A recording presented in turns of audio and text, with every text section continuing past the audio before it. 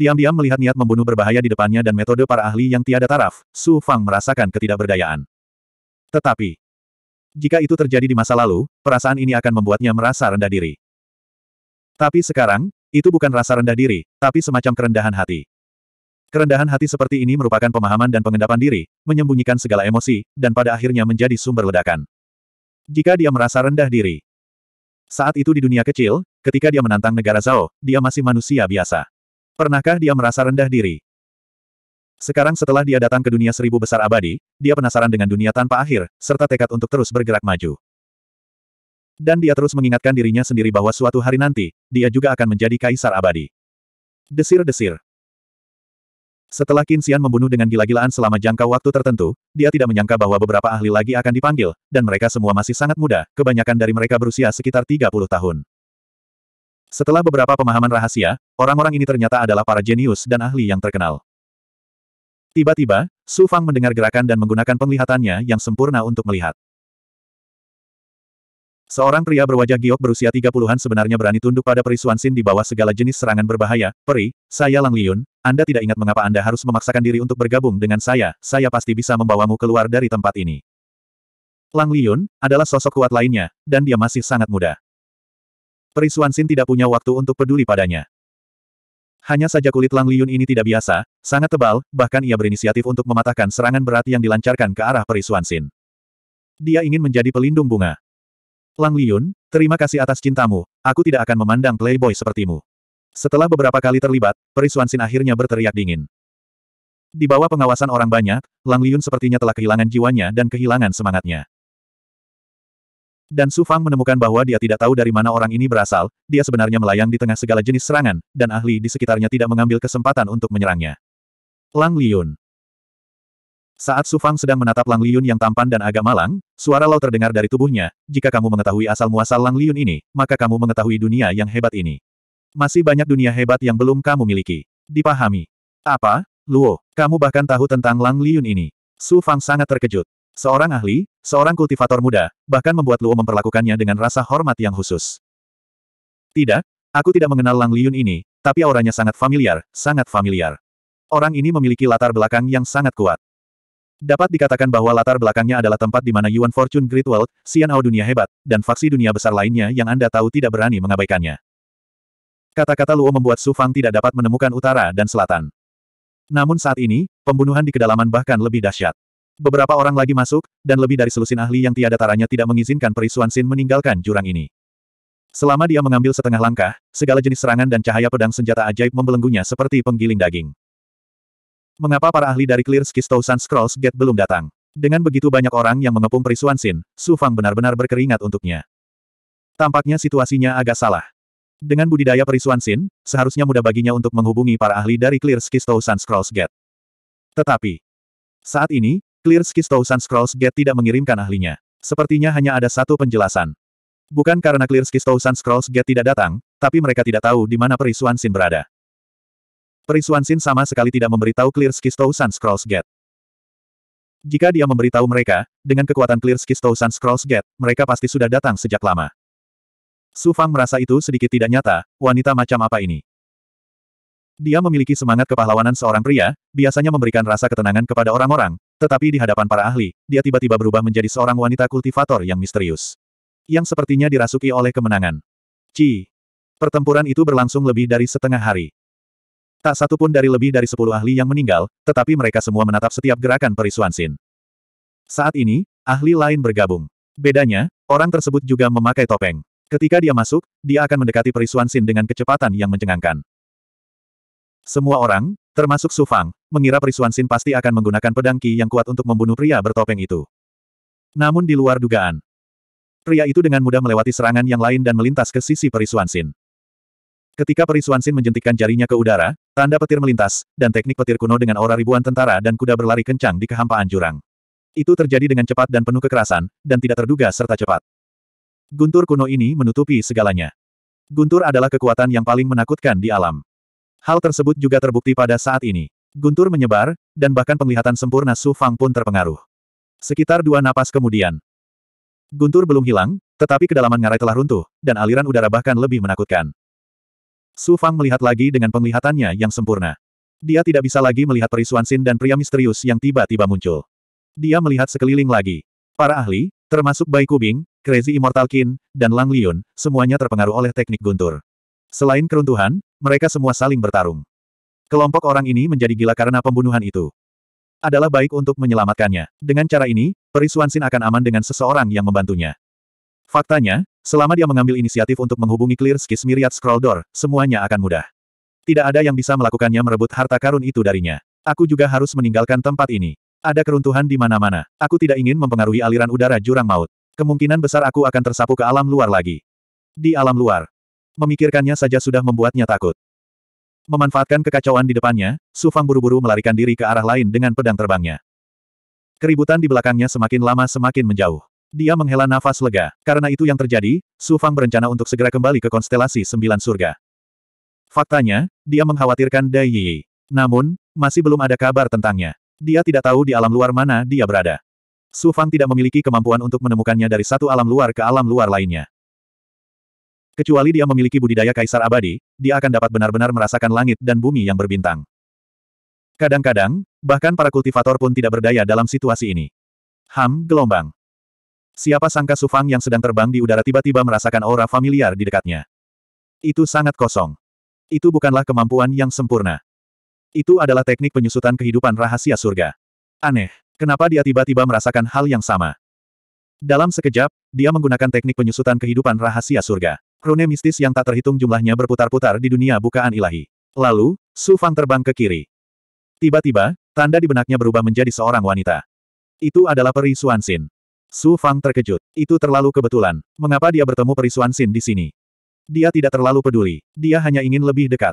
Bagaimanapun, dia memiliki kemampuan yang sempurna. Dia percaya bahwa Perisuan Sin tidak akan bisa merasakannya dari jarak beberapa mil. Setelah memasuki beberapa jurang, masih sangat rumit. Setelah sekitar tujuh atau delapan mil, Su Fang perlahan-lahan bersembunyi di balik tebing yang tertutup dedaunan. Dia memandangi kabut tebal berbintang di depannya dan kabut yang muncul dari waktu ke waktu. Kedalaman seribu meter, dia melihat formasi yang samar-samar terlihat. Dia juga mendekat. Ketika dia berada sekitar satu setengah mil jauhnya, kemampuannya yang sempurna mulai berkumpul dan menetap. Hanya dalam dua tarikan napas, penglihatan dan pendengarannya dapat menembus kabut berbintang dan aliran udara beberapa mil. Dia melihat sebuah gua alami di tebing. Di dalam gua, ada dua sosok berdiri. Ketika dia mendekat, dia melihat wajah pucat Peri Suansin. Orang lain mengira dia memakai topeng, tetapi ketika Su Fang melihatnya, dia menyadari bahwa dia adalah Gu Huajun. Dia adalah ahli kuat yang pergi ke konstelasi sembilan surga bersama Peri Suansin.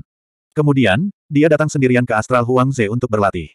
Seperti yang diharapkan, mereka sangat dekat. Saat Peri Suansin dalam masalah, Gu Huajun segera datang membantu. Peri dapat dianggap telah lolos dari bahaya. Nasibnya tidak baik, dan dia tidak dapat bersama dengan Yan Xianxin. Saat ini, Huang Fufei dan Yan Xianxin sangat dekat. Jika dia tahu tentang mereka berdua, kurasa, melihat mereka berdua, Su Fang juga memutuskan sudah waktunya untuk pergi. Apa? Tiba-tiba, Peri Suansin, yang berdiri di depan Gu Huajun, mengeluarkan seteguk darah dan hampir pingsan. Gu Huajun dengan cepat menangkapnya. Apa masalahnya? Su Fang terus menatap. Peri Suansin menyeka sudut mulutnya dengan sapu tangan sutra. Yan Sensin juga datang ke Astral Huangze. Dia tahu tentangku, tapi dia tidak datang. Saya mendengar bahwa Yan Sensin datang ke Astral Huangze bersama seorang wanita. Saya mendengar bahwa dia memiliki hubungan yang sangat baik dengan kultivator wanita itu. Gu Huajun merasa sulit untuk menelannya. Yan Sensin, apakah kamu benar-benar harus begitu tidak berperasaan? Tidak apa-apa jika kamu tidak peduli dengan masa lalu, tetapi apakah kamu benar-benar harus membuatku malu di depan dunia? Kakak senior, apakah kamu tidak melupakan Yan Sensin? Apa bagusnya pria gila itu? Itulah pria pertama yang kucintai. Bisakah aku melupakannya begitu saja? Wanita berbeda dengan pria. Pria bisa melupakan seseorang dengan sangat cepat, tapi wanita berbeda. Kakak senior, ada berita lain. Jangan diingat-ingat. Kudengar Yan Sensin memperoleh salah satu dari sepuluh artefak dao besar, pedang kembar penghancur, dengan bantuan Huo Yan Shinrikyo. Of. Dengan bantuan Gu Huajun, Periswansin tidak bisa menahan diri untuk tidak memuntahkan seteguk darah. Yang ada hanya kepolosan dan kemarahan di matanya. Ya, aku memberinya peta yang tidak lengkap saat itu. Tanpa aku, bagaimana dia bisa mendapatkan pedang kembar penghancur? Aku, aku sangat menyesalinya. Kakak senior, minumlah pil ini. Jangan khawatir tentang Yan Sensin. Orang gila itu berbohong kepadamu lagi dan lagi. Dia ambisius sejak awal. Gu Huajun buru-buru mengeluarkan pil. Peri Suansin tidak membiarkan dia memasukkannya ke dalam mulutnya. Sebaliknya, dia meminum pil itu sendiri dan menelannya dengan hati-hati. Pedang kembar penghancur, salah satu dari sepuluh artefak dao besar. Su Fang juga mendengarnya dengan jelas. Dia merasa bahwa seorang jenius sejati sedang meningkat di dunia besar. Yan Sensin. Kamu, mengapa kekuatan ki sejati dan inti emasku menghilang? Tiba-tiba, suara kaget Peri Suan Sin terdengar. Su Fang segera menoleh dan melihat Peri Suan Sin di peluk Gu Huajun. Dia berjuang untuk melepaskan trukinya, tapi dia tidak bisa mengendalikannya. Itu terus mengalir keluar dari tubuhnya. Dia menatap Gu Huajun dengan tidak percaya. Kamu, ada yang salah dengan pil yang kamu berikan padaku. Kakak senior, kenapa kamu? Kenapa tubuhku mulai memanas? Gu Huajun tiba-tiba mencibir dan memeluk Peri Suan Sin erat-erat seperti harimau. Adik junior, aku sudah menyukaimu selama bertahun-tahun. Kamu tahu itu, tapi kamu hanya memperhatikan Yan Sensin, kan? Aku sudah menyukaimu sejak lama. Sejak kita memasuki sekte pada saat yang sama, aku telah jatuh cinta padamu. Baumu, sosokmu, senyummu. Aku hanya bisa melihatmu dari jauh setiap malam. Aku tidak bisa tertidur sambil menghadap langit berbintang. Tahukah kamu, adik junior, aku aku telah menunggu momen ini selama puluhan ribu tahun. Hari ini, kau milikku, milik Gu Huajun, pria pertama di dunia yang benar-benar dapat memilikimu dan menempati tubuhmu. Kamu dan aku selalu memperlakukanmu sebagai kakak laki-laki. Kakak senior, kamu dan aku adalah saudara kandung. Kamu tidak bisa menyentuhku. Kamu bukan binatang buas. Peri Suansin sangat ketakutan hingga dia tidak dapat mempercayainya. Dia tidak pernah menyangka Gu Huajun akan berpikiran seperti itu dan bahkan mencoba membunuhnya. 1102. Binatang buas. Gu Huajun tiba-tiba menyeringai dan menatap tubuh pucat Suansin. Kulitnya sudah memerah. Kamu pikir aku ini binatang buas? Haha. Melihatnya tertawa gila-gilaan, Suansin buru-buru menggunakan tangannya untuk melindungi tubuhnya, tetapi dia tidak dapat mengumpulkan ki yang sebenarnya. Dia lemah seperti manusia biasa. Aku adalah binatang buas. Aku adalah binatang buas. Selama bertahun-tahun, aku telah berdiri di belakangmu. Ketika sesuatu terjadi padamu, tidak peduli seberapa besar atau kecilnya, akulah yang pertama berdiri. Aku memikirkanmu dan melindungimu. Kamu bahkan mengatakan bahwa aku adalah binatang buas. Selama bertahun-tahun, wanita mana yang tidak mengambil inisiatif untuk datang kepadaku? Tapi dengan adanya kamu, aku bahkan tidak melihat mereka. Mengapa itu karena aku binatang?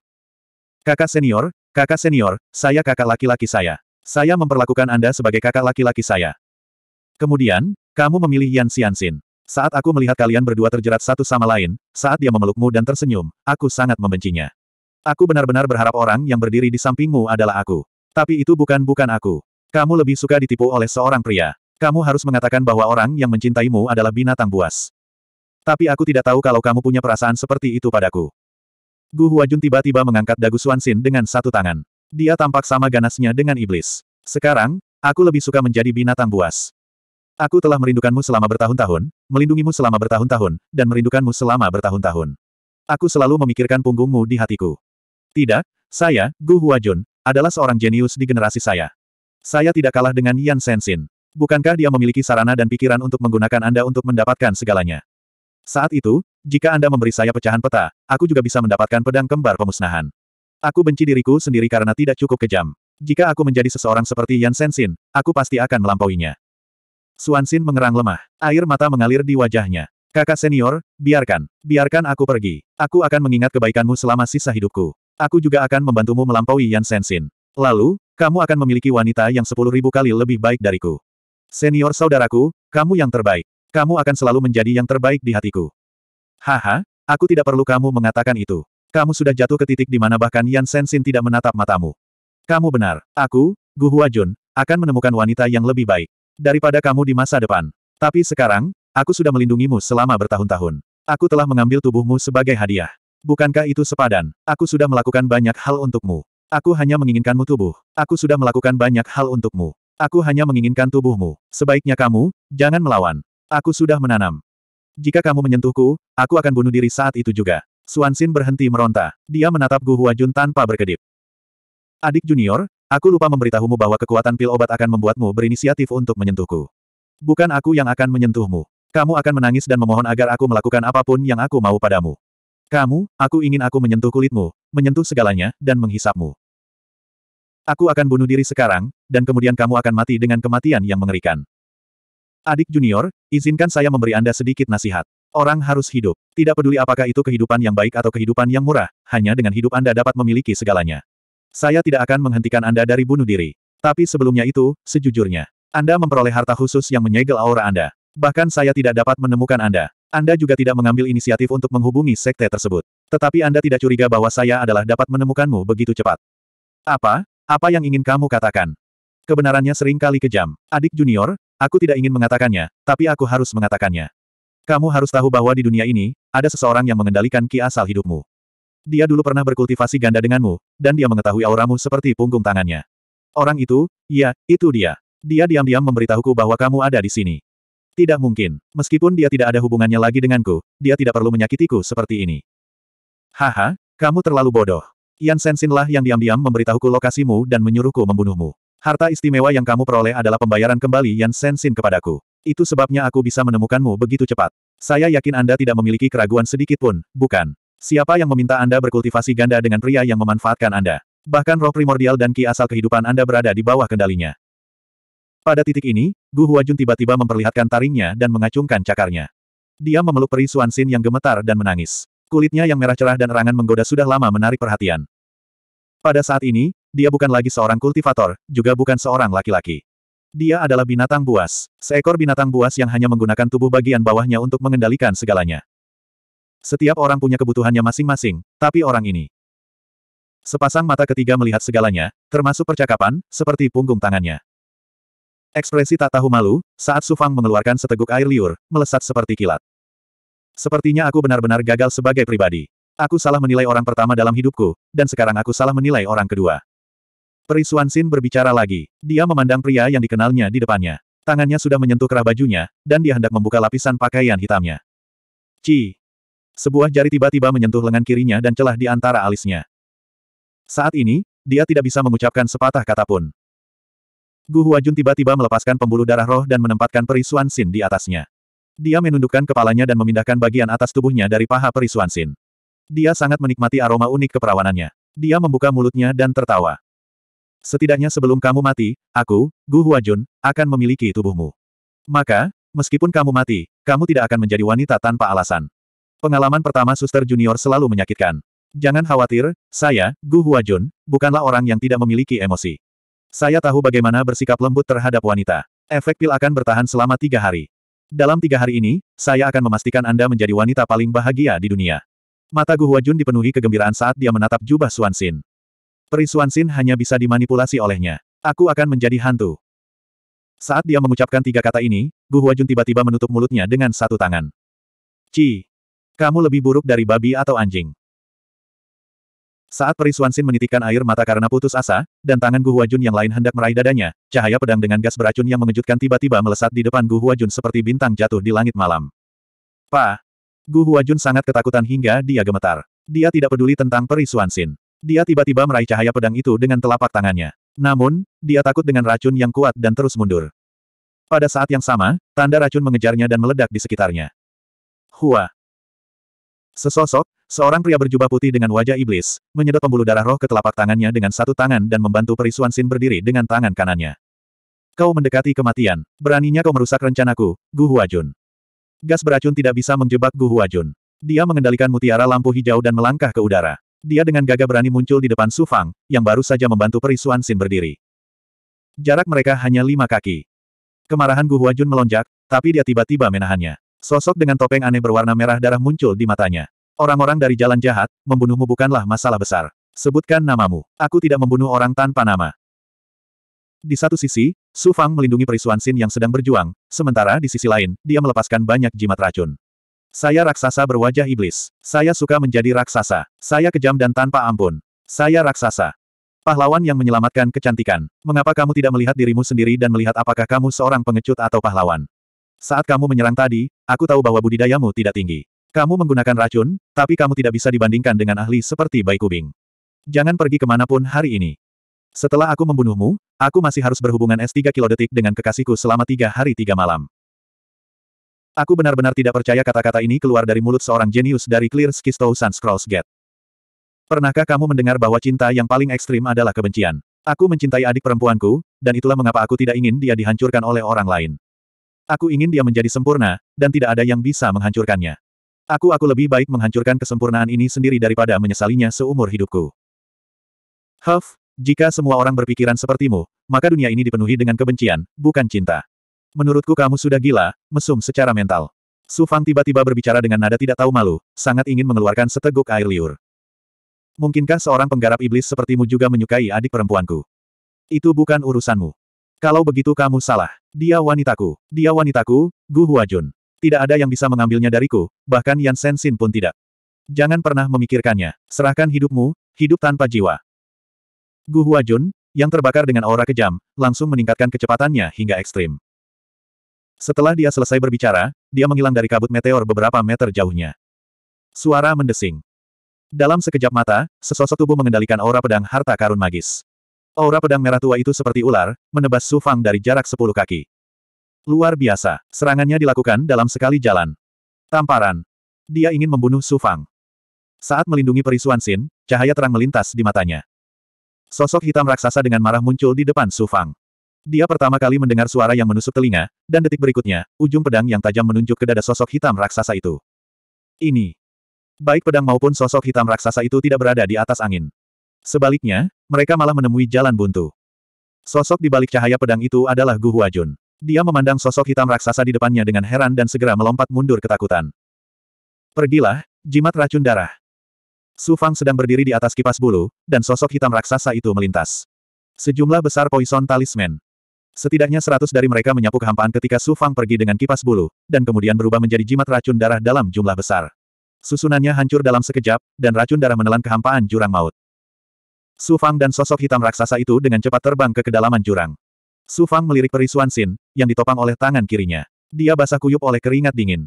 Dia mengerang pelan, tetapi karena marah, dia mengertakkan gigi dan menatap Su Fang. Tangannya tanpa sadar ingin melindungi bagian depan tubuhnya. Dia milikku. Lebih dari 20 kaki di belakang mereka, racun darah dan aliran udara berubah menjadi gelombang yang mengejutkan. Gu Huajun menginjak pedang terbangnya dan mengejarnya seolah ingin memakannya. Dia masih membuang sejumlah besar jimat yang terbuat dari racun darah. Dengan lambaian tangannya, ada seratus jimat. Dengan beberapa lambaian tangannya, ada ratusan jimat yang menghalangi jalan antara kedua sisi. Jimat racun darah segera berangkat dari belakang. Ledakan, satu demi satu. Su Fang meraung sambil tersenyum mengerikan. Gu Huajun, kamu telah diracuni. Mengapa kamu tidak melihat betapa kuatnya racunku? Meskipun aku bukan Bai Kubing, racun ini juga unik di dunia. Tidak terlalu berpengaruh padamu. Begitu racun itu masuk ke dalam tubuhmu, kamu memerlukan sepuluh ribu tahun untuk menetralisirnya. Raksasa terkutuk, raksasa terkutuk. Raungan suram, robek, dan marah datang dari ledakan racun darah. Tapi Su Fang, di bawah perlindungan kipas bulu dan perisuan Sin, memasuki jurang lain dan menghilang dalam aliran udara. Melihat ke belakang, tidak ada siapa-siapa. Dia melepaskan kekuatan kesempurnaan agung, tetapi masih belum ada tanda-tanda keberadaan Gu Huajun. Saat kultivasiku terus meningkat, kekuatan Gui Gui juga meningkat. Tampaknya kekuatan racun darah sudah cukup untuk mempengaruhi para tetua. Meskipun aku tidak bisa membunuh Gu Huajun, itu cukup untuk menghentikan orang ini. Garis pertahanan di hatinya akhirnya lenyap. 1103. Gu Huajun benar-benar ahli yang hebat. Kekuatannya tidak jauh berbeda dengan Immortal Canggu. Setelah beberapa saat, mereka tiba di jurang yang sangat tersembunyi di Phoenix Transformation Canyon. Kamu, kamu. Dia juga mengeluarkan pesona. Tanpa diduga, saat dia hendak memeriksa luka perisuan Sin, pihak lain sudah meringkuk tanpa daya. Kecuali topeng giok putih di wajahnya, seluruh tubuhnya basah oleh darah dan keringat. Dia menemukan bahwa Su Fang terus-menerus mendekatinya. Dia meraih lengannya dengan kedua tangan, menggaruk lengannya hingga kulitnya pecah. Kukunya bahkan menusuk dagingnya. Dia tidak hanya harus waspada terhadap Su Fang. Perisuan Xin tidak tahu kekuatan macam apa itu, tapi itu sebenarnya membuatnya tidak bisa memadatkan ki sejatinya. Dia merasa seolah-olah dia tidak bisa bernapas, terutama ketika lapisan merah menyebar dari leher gioknya ke seluruh tubuhnya. Khususnya, ada aura misterius yang perlahan meresap dari kulit hingga jubahnya. Rasanya seperti kuncup bunga yang halus dan indah sedang mekar. Bagi Su Fang, aura misterius ini sepertinya secara alami menarik tangan dan seluruh tubuhnya. Tuan, perisuan Sin telah diracuni oleh racun aneh. Racun jenis ini biasanya digunakan untuk menangani wanita. Terlebih lagi, dia tidak dapat menahan kekuatan semacam ini. Racun macam apa itu? Faktanya, ini adalah obat seks yang digunakan untuk merangsang cinta antara pria dan wanita. Saya dengar obat ini sangat efektif untuk perawan. Tidak ada perawan yang bisa menolak obat semacam ini. Obat seks, yang disebut cinta Gu Huajun, apakah seperti ini? Tuan, jika pihak lain masih perawan, maka mereka harus melakukan hubungan seksual. Hanya dengan hubungan seksual barulah racun aneh di tubuhnya dapat diatasi. Apalagi berbicara. Apalagi saat berhubungan seksual, kudengar wanita itu harus orgasme berulang kali. Baru setelah beberapa kali racun aneh itu bisa teratasi. Jika racunnya tidak didetoksifikasi, maka peri ini pasti akan mati. Ada racun aneh di dunia ini. Di dunia ini, ada jalan lurus dan jalan setan. Tentu saja, ada para kultivator yang tidak bisa berbuat apa-apa lagi. Jenis ini disebut jalan setan. Metode mereka tidak terbayangkan oleh para kultivator jalan lurus. Mao Qiang dapat melihat pemandangan di luar melalui transmisi suara saat berada di alam transformasi wadah. Setelah memahami ini, dia segera menyegel alam transformasi wadah. Dia kemudian memandang peri Suansin. Saat ini, dia masih menjadi peri nomor satu. Meskipun dia tersiksa oleh racun aneh dan bahkan tidak bisa mengerang, dia tetap berusaha sekuat tenaga untuk mengendalikan dirinya. Dia bahkan tidak berani menatap Sufang. Peri Suansin merobek kulit lengannya. Sepuluh jarinya telah menembus dagingnya, tapi aura berwarna darah di kedalaman kulitnya sudah mulai menunjukkan tanda-tanda darah. Selanjutnya, aura inti emas dan kekuatan sihir dari celah ilahi merembes keluar. Jika ini terus berlanjut, inti emas akan kehilangan ki aslinya dan hilang sepenuhnya. Tanpa kekuatan sihir, celah dewa juga akan hancur. Pada akhirnya, dia akan menjadi manusia fana. Rasa sakit seperti ini sepuluh ribu kali lebih menyiksa daripada menerobos dan terluka. Selain itu, seluruh tubuhnya dipenuhi bekas luka. Tiba-tiba, saat ini, mata Su Fang dingin. Dia berjongkok dan perlahan berkata, Peri, aku punya cara untuk menyelamatkanmu, tapi tolong bekerja sama. Aku tidak membutuhkanmu. Peri Suansin berjuang. Di matanya, yang ada hanya ketakutan dan keputusasaan. Su Fang sangat sabar. Peri, kamu salah paham. Caraku untuk menyelamatkanmu bukan melalui hubungan seksual. Sebaliknya, aku memiliki kekuatan luar biasa yang kumiliki sejak lahir. Kekuatan ini adalah kekuatan yang yang luar biasa. Dapat disuntikan ke dalam tubuh peri untuk membantu meningkatkan kekuatan yang di tubuh peri. Ketika menyatu dengan kekuatan yin di tubuh peri, secara bertahap ia bisa merasakan racun aneh dan akhirnya menekannya. Terlebih lagi, Aku bahkan tidak perlu menyentuh peri itu. Peri, tubuh giokmu masih murni dan tanpa cacat.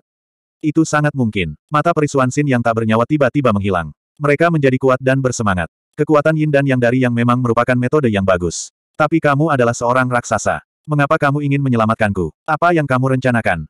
Saat ini, peri itu seperti landak yang terluka. Dia akan menikam siapa pun yang dilihatnya. Wajar baginya untuk memiliki pemikiran seperti itu. Pada saat ini, peri nomor satu ingin melindungi kepolosannya dan bertahan hidup.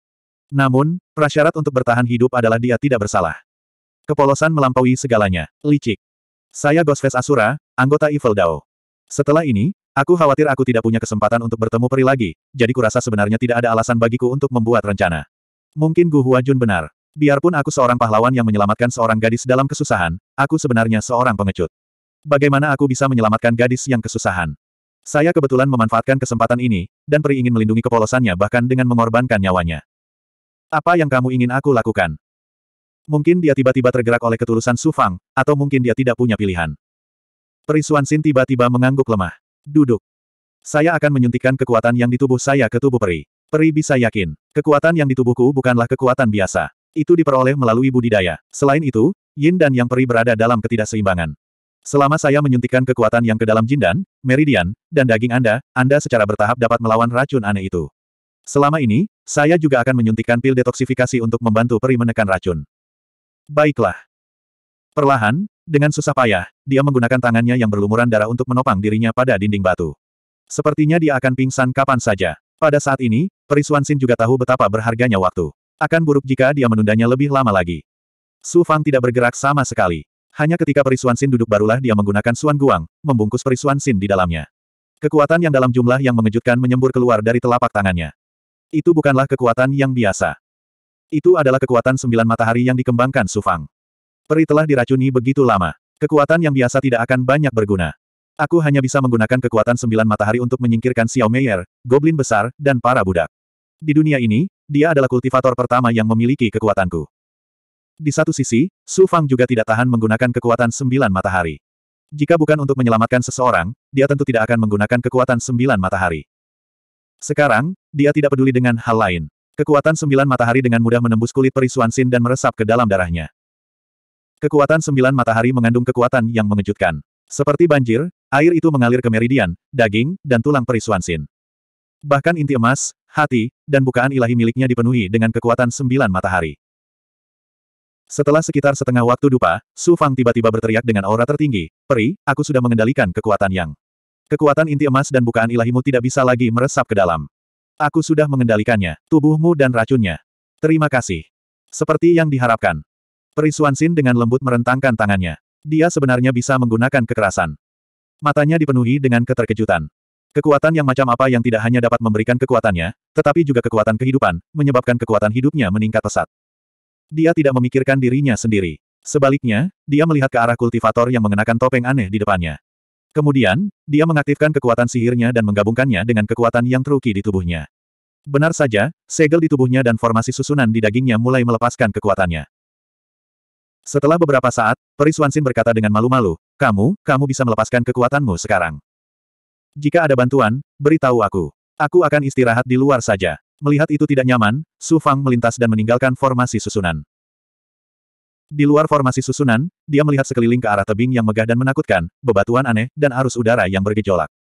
Dia segera duduk bersila dan menggunakan kemampuan kesempurnaannya yang luar biasa untuk melihat apakah ada ahli di sekitarnya. Untungnya tidak ada aura. Gu Huajun tidak dapat menemukan tempat ini karena Su Fang berada di dalam formasi susunan. Dia menggunakan kekuatan teknik penyusutan kehidupan. Dengan demikian, aura apa pun di dalam formasi susunan tidak dapat dirasakan oleh dunia luar. Saya akhirnya mengerti. Su Fang, yang menjaga di luar formasi susunan, perlahan melihat ke depan. Bukan Gu Huajun yang ingin membunuh Peri Suansin. Yan Sensin lah yang ingin menyingkirkan Peri Suansin. Orang itu mendapatkan pedang kembar pemusnahan dan menjadi begitu sombong. Dia sangat kejam dan tanpa ampun. Tapi yang paling mengejutkanku adalah Gu Huajun. Saat pertama kali melihatnya, kupikir dia adalah orang benar yang peduli pada perisuan Sin.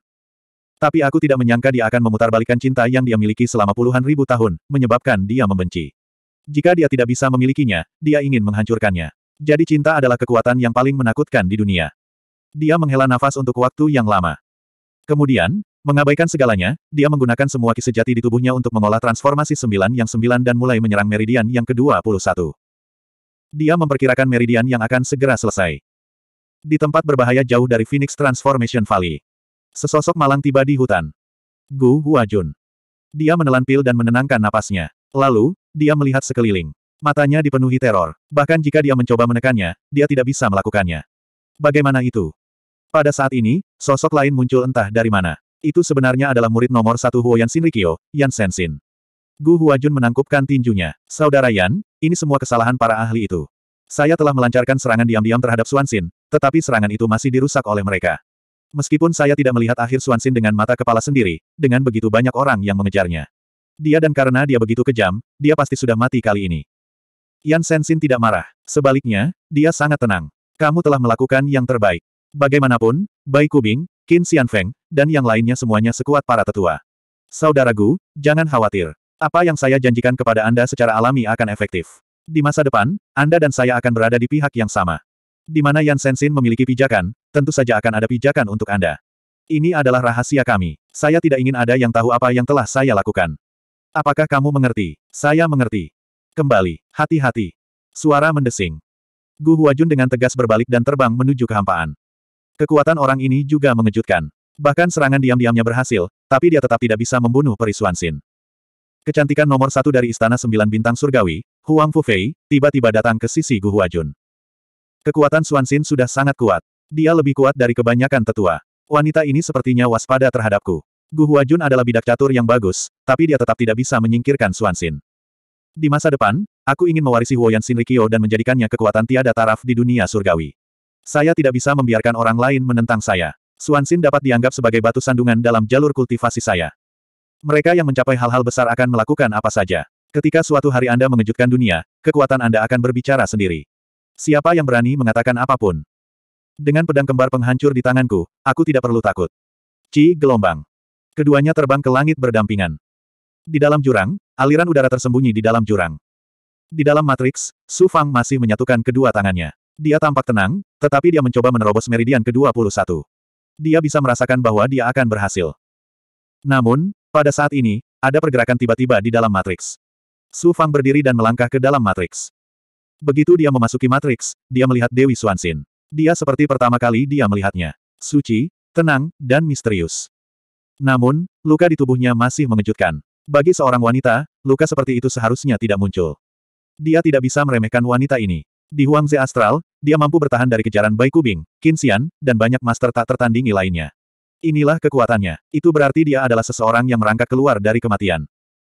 Kekuatan dan kecantikan adalah kata-kata yang paling tepat untuk menggambarkan dirinya. Seolah-olah dia adalah dewi nomor satu yang sebenarnya. Itu bukanlah pemikiran pertama yang dipikirkan orang, bahwa dia adalah yang terbaik di dunia karena penampilannya. 1104. Su Fang berhenti sekitar 10 meter dari Peri Suansin. Dia menangkupkan tinjunya dan berkata, Selamat, Peri. Namun, masih ada racun di tubuhmu yang belum dibersihkan, dan lukamu baru pulih 60%. Mengapa kamu tidak terus memulihkan diri? Kamu memiliki tatapan yang kuat. Mata peri Suansin tidak bisa terlihat jelas di balik topeng giok putih, tapi tatapannya familiar dan dingin. Kekuatan yang ku sangat istimewa. Ini salahku kalau kamu memiliki auraku di tubuhmu. Seharusnya aku tidak mengintipmu dengan mudah. Rencana apa yang kamu punya? Su Fang tiba-tiba menyadari sesuatu dan segera meminta maaf. Saya dapat merasakan bahwa Anda ingin tahu bagaimana saya pulih dari lubuk hati Anda yang terdalam. Tapi kali ini, tatapan Peri Suansin jauh lebih hangat. Dia benar-benar membungkuk secara formal kepada Su Fang dan berkata, terima kasih telah menyelamatkan saya, Tuan Muda. Suansin tidak akan pernah melupakan bantuan sebesar ini. Jika Anda ingin Suansin melakukan apa pun, Suansin akan menyetujui semua persyaratan Anda. Petik 2 Petik 2 Dia baru saja selesai berbicara ketika dia melihat ke arah Su Fang. Su Fang sudah berbalik, punggungnya tampak sangat kesepian. Peri, aku tidak meminta imbalan apa pun untuk menyelamatkanmu. Jika kamu benar-benar menginginkan alasan untuk menyelamatkanmu, mungkin kita pernah bertemu sekali di masa lalu. Sebelum aku pergi, aku masih ingin mengatakan sesuatu. Bahkan jika aku usil, aku akan mengatakannya saja. Su Fang, yang hendak keluar dari barisan, tiba-tiba melambat dan memanjang. Jika peri memberikan cintamu pada orang itu, aku yakin orang itu akan menjadi pria paling bahagia di dunia. Peri lebih baik mati demi cinta ini. Yan Sensin tidak pantas mendapatkan cinta peri. Aku merasa hidup itu berharga. Jika kamu menyia-nyiakan hidupmu untuk seseorang yang tidak layak, maka peri benar-benar tidak layak untuk aku selamatkan. Suara mendesing. Dia meninggalkan kata terakhir dan keluar dari barisan. Puff, gelombang. Tubuh Peri Swansin bergetar lagi, dan dia mengeluarkan seteguk darah merah. Dia menundukkan kepalanya. Tidak ada yang tahu ekspresi apa yang dia miliki di balik topeng batu giok putih. Tunggu. Tanpa diduga, dalam satu tarikan napas, Peri Swansin juga keluar dari barisan. Saat dia melewati tebing jurang, dia menyusul Su Fang dalam sekejap. Su Fang sangat terkejut. Dia memandang Peri Swansin dan menjadi pucat karena ketakutan. Gu Huajun bisa menemukanmu karena Yan Sensin memiliki auramu. Peri, kamu harus kembali ke barisan untuk menyembuhkan lukamu terlebih dahulu. Belum terlambat untuk pergi setelah mengeluarkan auramu atau menyegelnya. Peri Suansin memegang Suan Guang. Anda menyelamatkan hidup saya, dan saya tidak bisa hanya mengucapkan terima kasih. Saya tidak. Aku merasa nyaman. Dalam segel Suan ini. Ah, ini adalah tanda hatiku. Itu, itu, itu. Suan Guang, adalah miliknya. Dia, adalah dan su. Itu. Poin peri, tidak tot, tot, tidak te, tidak te. Itu adalah harta karun lima warna. Tatapan peri itu mengeras. Saya mengerti. Pikirkanlah dari sudut pandang saya. Saya seharusnya tidak mengungkapkan rasa terima kasih apa pun kepada orang yang menyelamatkan hidup saya. Harta lima warna ini hanyalah sebuah harta karun. Tidak layak disebutkan dibandingkan dengan hidup saya. Bagi saya, itu sebenarnya tidak terlalu penting. Jika kamu tidak menginginkannya, aku akan membiarkannya jatuh ke dalam jurang ini. Aku sudah mengambil keputusan. Petik dua petik dua. Keduanya terdiam. Rasanya hanya mereka berdua yang tersisa di dunia. Kemudian, dalam waktu kurang dari tiga napas, Su Fang menangkap Suan Guang dan menyedotnya ke telapak tangannya. Saya tidak tahu apakah saya bisa melihat peri lagi di masa depan. Hati-hati, ada banyak orang baik di dunia. Tentu saja, para kultivator juga hidup demi kultivasi. Ketika saatnya tiba, nama peri pasti akan diwariskan selama berabad-abad. Dengan itu, Su Fang sekali lagi menghilang ke dalam aliran udara. Peri Suansin berhenti sejenak dan segera kembali ke barisan. Ketika dia tiba di barisan, dia melihat jejak susunan itu dengan kaget. Kenapa aku belum pernah mendengar tentang raksasa? Arai orang ini benar-benar dapat menyembunyikan auraku. Aku tidak bisa melakukan hal seperti itu. Kekuatan raksasa ini bahkan sepertinya belum mencapai level Gu Huajun, tapi bagaimana dia bisa menguasai kekuatan magis seperti itu? Kekuatan, pria macam apa dia? Mungkin tidak ada yang akan menjawab pertanyaan ini. Beberapa mil jauhnya, Su Fang terus-menerus melewati aliran udara, memasuki jurang demi jurang. Ia juga terus-menerus menginjak aliran udara untuk terbang ke jurang yang lebih tinggi. Untungnya, dia tidak menemui bahaya apa pun di sepanjang jalan. Dia dengan lancar meninggalkan jurang maut dan sampai ke Phoenix Transformation Canyon. Dia menginjak pedang terbangnya dan menghilang ke dalam kabut bintang. Di tepi dunia astral rawa sunyi. Di dalam pegunungan yang menjulang tinggi. Su Fang yang sering bepergian datang ke gua dan menyegel semuanya dengan sebuah arai. Dia membiarkan Tengba keluar untuk menjaga Void Das Cauldron saat dia memasuki Hua Cauldron. Di bawah perlindungan Arai, dia menggunakan kekuatan transformasi kuali. Su Fang langsung hancur dan berubah menjadi laut darah musim semi kuning. Saat ini, kedalaman air darah lebih dari 10 kaki. Kelihatannya sangat menakutkan. Dia mulai mengolah laut darah musim semi kuning. Tubuh fisik Su Fang mengembun di dalam air darah. Dia juga mulai menyerang meridian ke-21. Setelah sampai batas tertentu dan mempertahankan kondisi kultivasi, bahkan dia pun terkejut. Dia telah menguasai laut darah musim semi kuning sedemikian rupa. Pada saat yang sama, dia juga bisa menyerang yang meridian dan mengolah sembilan transformasi sembilan dan metode budidaya lainnya. Itu menakjubkan. Bahkan Su Fang sendiri tidak menyadari bahwa dia telah menguasainya sedemikian rupa. Harta karun eksotis Suan Guang lima warna gelombang. Dia membuka mulutnya dan meludah. Itu berasal dari Suan Guang yang dipadatkan oleh peri Suansin. Setelah menyerap Suan Guang, apa yang terungkap mengejutkan Su Fangda. Awalnya, dia sangat ingin tahu tentang harta karun eksotis Suan Guang lima warna dan tidak sabar untuk mengetahui jenis harta karun itu. Setelah menelan Suan Guang, harta karun eksotis berubah menjadi batu berbentuk oval. Apakah itu batu? Ketika dia melihat lebih dekat, itu tidak terlihat seperti batu. Itu tampak seperti telur, telur batu. Telur batu itu panjangnya sekitar setengah kaki dan bulat. Awalnya hanya telur batu, tapi permukaan telur batu mengeluarkan kilau lima warna yang tidak bisa dijelaskan. Meski kilau lima warnanya tidak menyilaukan, ia merembes keluar dari telur batu, mengubah telur batu dari batu biasa menjadi harta karun eksotis yang menakjubkan. Ini benar-benar sebuah harta karun. Bagaimana mungkin sebuah batu biasa memiliki kilau lima warna seperti ini? Kilaunya sangat misterius. Rasanya tidak seperti sesuatu dari dunia abadi. Setelah mempelajarinya sebentar, dia tidak tahu apa itu. Dia merasa Lau seharusnya merasa bosan. Dia memiliki pengetahuan yang luar biasa dan mungkin tahu harta karun apa itu. Lagi pula, dia bahkan mengenal Night Demon. Kesadaran Lau secara bertahap menyebar. Su Fang mencoba yang terbaik untuk bekerja sama. Dia juga ingin tahu apa itu telur batu. Setelah beberapa saat, Lau berkata, kamu benar-benar mengambil harta karun. Saya tidak mengambilnya. Itu diberikan kepada saya oleh seseorang yang melakukan perbuatan baik. Su Fang menajamkan telinganya. Dia sangat ingin tahu harta macam apa telur batu itu. Dia menduga Lau mengetahui tentang harta karun itu. Kamu melakukan perbuatan baik. Kurasa aku ada di sini. Peri nomor satu secara alami adalah kecantikan nomor satu. Kamu memang mengambil harta karun. Kamu mengambil kecantikan yang luar biasa. Kamu tidak mengambil kesempatan untuk menyelesaikan masalah fisiologisnya. Masalah, jika itu orang lain, mereka bahkan tidak akan memimpikannya hal sebaik itu. Meskipun aku bejat, aku tidak akan memanfaatkan orang lain. Hei, jangan bilang padaku bahwa kamu belum tergerak oleh kecantikan nomor satu Swansin setelah bertemu dengannya beberapa kali. Kamu tidak tergerak. Aku tidak tergerak, kesenjangannya terlalu besar. Jika kita berada di ketinggian yang sama, maka aku masih bisa memiliki pemikiran seperti itu. Sekarang aku tidak punya pemikiran apa pun. Lagi pula, aku tidak terlalu mengenalnya. Baiklah, aku bukan kuda pejantan. Aku akan jatuh cinta pada siapa pun yang kulihat. Lau, mari kita bicara tentang masalah serius. Kamu membuatnya terdengar seperti aku bukan orang yang serius. Uhuk, uhuk, kamu tahu apakah kamu orang yang serius atau tidak? Oke oke, saya yakin. Saya tidak sempat membicarakan tentang telur batu ini. Telur batu Anda sendiri luar biasa. Mungkin itu telur yang dihasilkan oleh makhluk purba dan telah terkubur di reruntuhan gurun. Ini benar-benar telur. Setelah berbicara omong kosong beberapa saat, Su Fang menjadi serius saat ini. Lau berkata dengan santai, saya benar-benar tidak bisa melihat apa yang ada di dalam telur ini. Lagi pula, sebagian besar kekuatan yang immortal telah dikonsumsi oleh batu giok darah. Jika berada pada puncaknya, saya mungkin bisa melihatnya. Yang paling penting adalah suan guang lima warna pada telur ini. Ini juga luar biasa. Dari mana asalnya? Ini terkait dengan Phoenix Transformation Canyon. Dari cahaya mendalam lima warna dari telur batu ini, saya merasakan perubahan yang aneh. Yaitu, aura dewa yang berubah menjadi dewa. Tampaknya cahaya mendalam lima warna benar-benar berasal dari Phoenix yang saleh. Dengan kata lain, itu adalah sejenis makhluk yang berubah menjadi Phoenix. Pada saat transformasinya, kekuatan transformasi makhluk itu kebetulan bersentuhan dengan telur batu ini. Untuk beberapa alasan yang tidak diketahui, hal itu justru menyebabkan kekuatan transformasi makhluk itu menyatu dengan telur batu ini dan malah mengubah aura kehidupan di dalam telur batu tersebut. Batuk, ini sedikit rumit. Rumit lebih sederhana. Ya, sesederhana apa? Saya memahaminya segera setelah saya mendengarnya. Telur batu ini menyerap kekuatan transformasi makhluk dari dewa menjadi dewa. Kemudian, karena kekuatan transformasi, telur batu menjadi keberadaan yang indah dan tak dapat dijelaskan. Mengerti.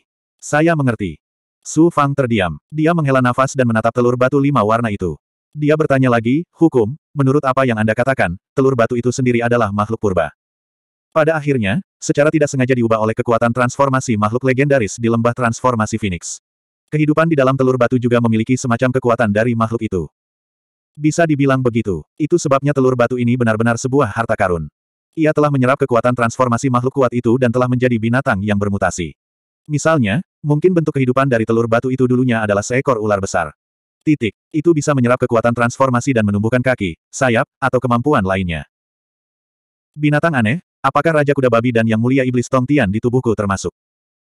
Ini adalah jenis kehidupan dan proses pengembangan diri. Tapi telur batu ini berbeda. Itu secara langsung diubah oleh kekuatan eksternal. Ini adalah binatang yang sangat aneh.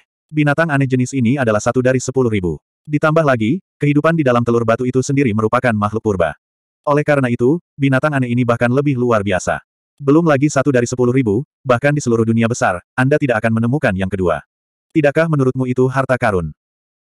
Su Fang tidak bisa menahan diri untuk tidak membelai telur batu itu, hehe, keberuntunganku terlalu bagus. Lau tiba-tiba berkata, jadi, kamu harus segera kembali ke Istana Bintang dan menyerap lebih banyak Ki Ungu hamil hebat. Bergabung dengan roh Ki Dharma Ungu akan membuat keberuntunganmu menjadi lebih baik. Selain itu, aku merasa kamu dan Perisuan Sin telah berinteraksi beberapa kali. Dan membentuk hubungan takdir. Saya jamin Anda akan bertemu lagi di masa depan. Lau, apakah kamu bercanda? Saya tidak bercanda. Saya orang yang serius. Petik dua petik dua. Lau mendengus bangga lalu terdiam. Adapun Su Fang, dia tiba-tiba menamparkan kepalanya. Dia belum bertanya pada Lau bagaimana caranya menyatu dengan telur batu itu. Karena Lau tidak mengatakannya, itu berarti dia bisa menyelesaikan masalah ini sendiri. Cara menyatu dengan telur batu adalah masalah besar. Ini adalah binatang yang aneh. Setelah menetas, ia mungkin setara dengan klan naga dan phoenix yang legendaris. Hehe, aku mengerti. Saat ini aku sedang mengolah laut darah mata air kuning. Aku cukup melemparkan telur batu ke dalam air darah dan membiarkannya menyerap energi esensi dan energi sejatiku. Lalu aku akan bisa mengolah Laut Kuning Springs Blood Sea dan buka meridian ke-21 saya. Segera ada solusi. Dia pun memahami maksud Lau. Tampaknya Lau tahu segalanya, tapi dia tidak mengatakan apa pun. Dia ingin memberi Su Fang ruang untuk berkembang. 1105. Telur batu warna-warni melayang di depan Su Fang dan tiba-tiba tenggelam ke dalam air darah. Cahaya samar warna-warni muncul dari dalam air darah. Air darah menyapu beberapa kali, namun telur batu tidak menyerapnya secepat yang diharapkan. Itu masih membutuhkan waktu. Karena tidak akan ada hasil dalam waktu dekat, Su Fang juga mulai menyerang, menelan semua jenis ramuan. Ketika sumber daya memasuki air darah, mereka meledak menjadi percikan api dan nyala api. Sekarang kemampuan menelan laut darah musim semi kuning 10 kali lebih kuat dari sebelumnya. Obat mujarab apa pun bisa ditelan dalam waktu singkat. Hal ini membuat kecepatan kultivasi Su Fang secara keseluruhan meningkat pesat. Bas-bas. Su Fang yang sedang duduk bersila di dalam air darah, setelah beberapa saat berkultivasi, tiba-tiba ada gerakan dari tubuhnya.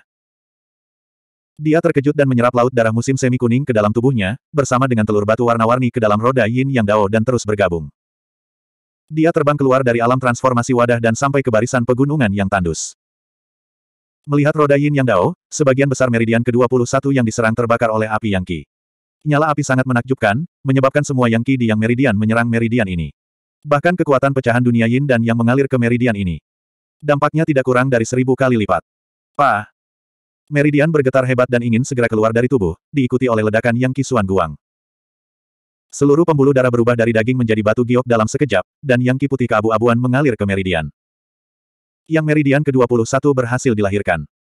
Menggunakan semua ki sejati, dia mulai menyerang yang meridian ini. Dan yang meridian ke-21 juga mulai mendekati roda yin yang dao. Pada akhir yang meridian ke-21, keduanya terhubung dan menjadi bagian dari roda yin yang dao. Pada saat ini, yang ki di dalam tubuh sepertinya telah kehilangan sepertiganya. Yang meridian baru menelan banyak yang ki. Butuh waktu lama untuk mencapai kondisi penuh. Hanya itu.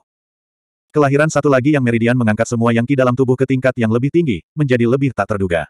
Setiap tetes yang ki adalah intinya. Pada saat yang sama, setelah kelahiran yang meridian ke-21, itu juga meningkatkan kecepatan kultivasi, terutama alam transformasi sembilan yang sembilan.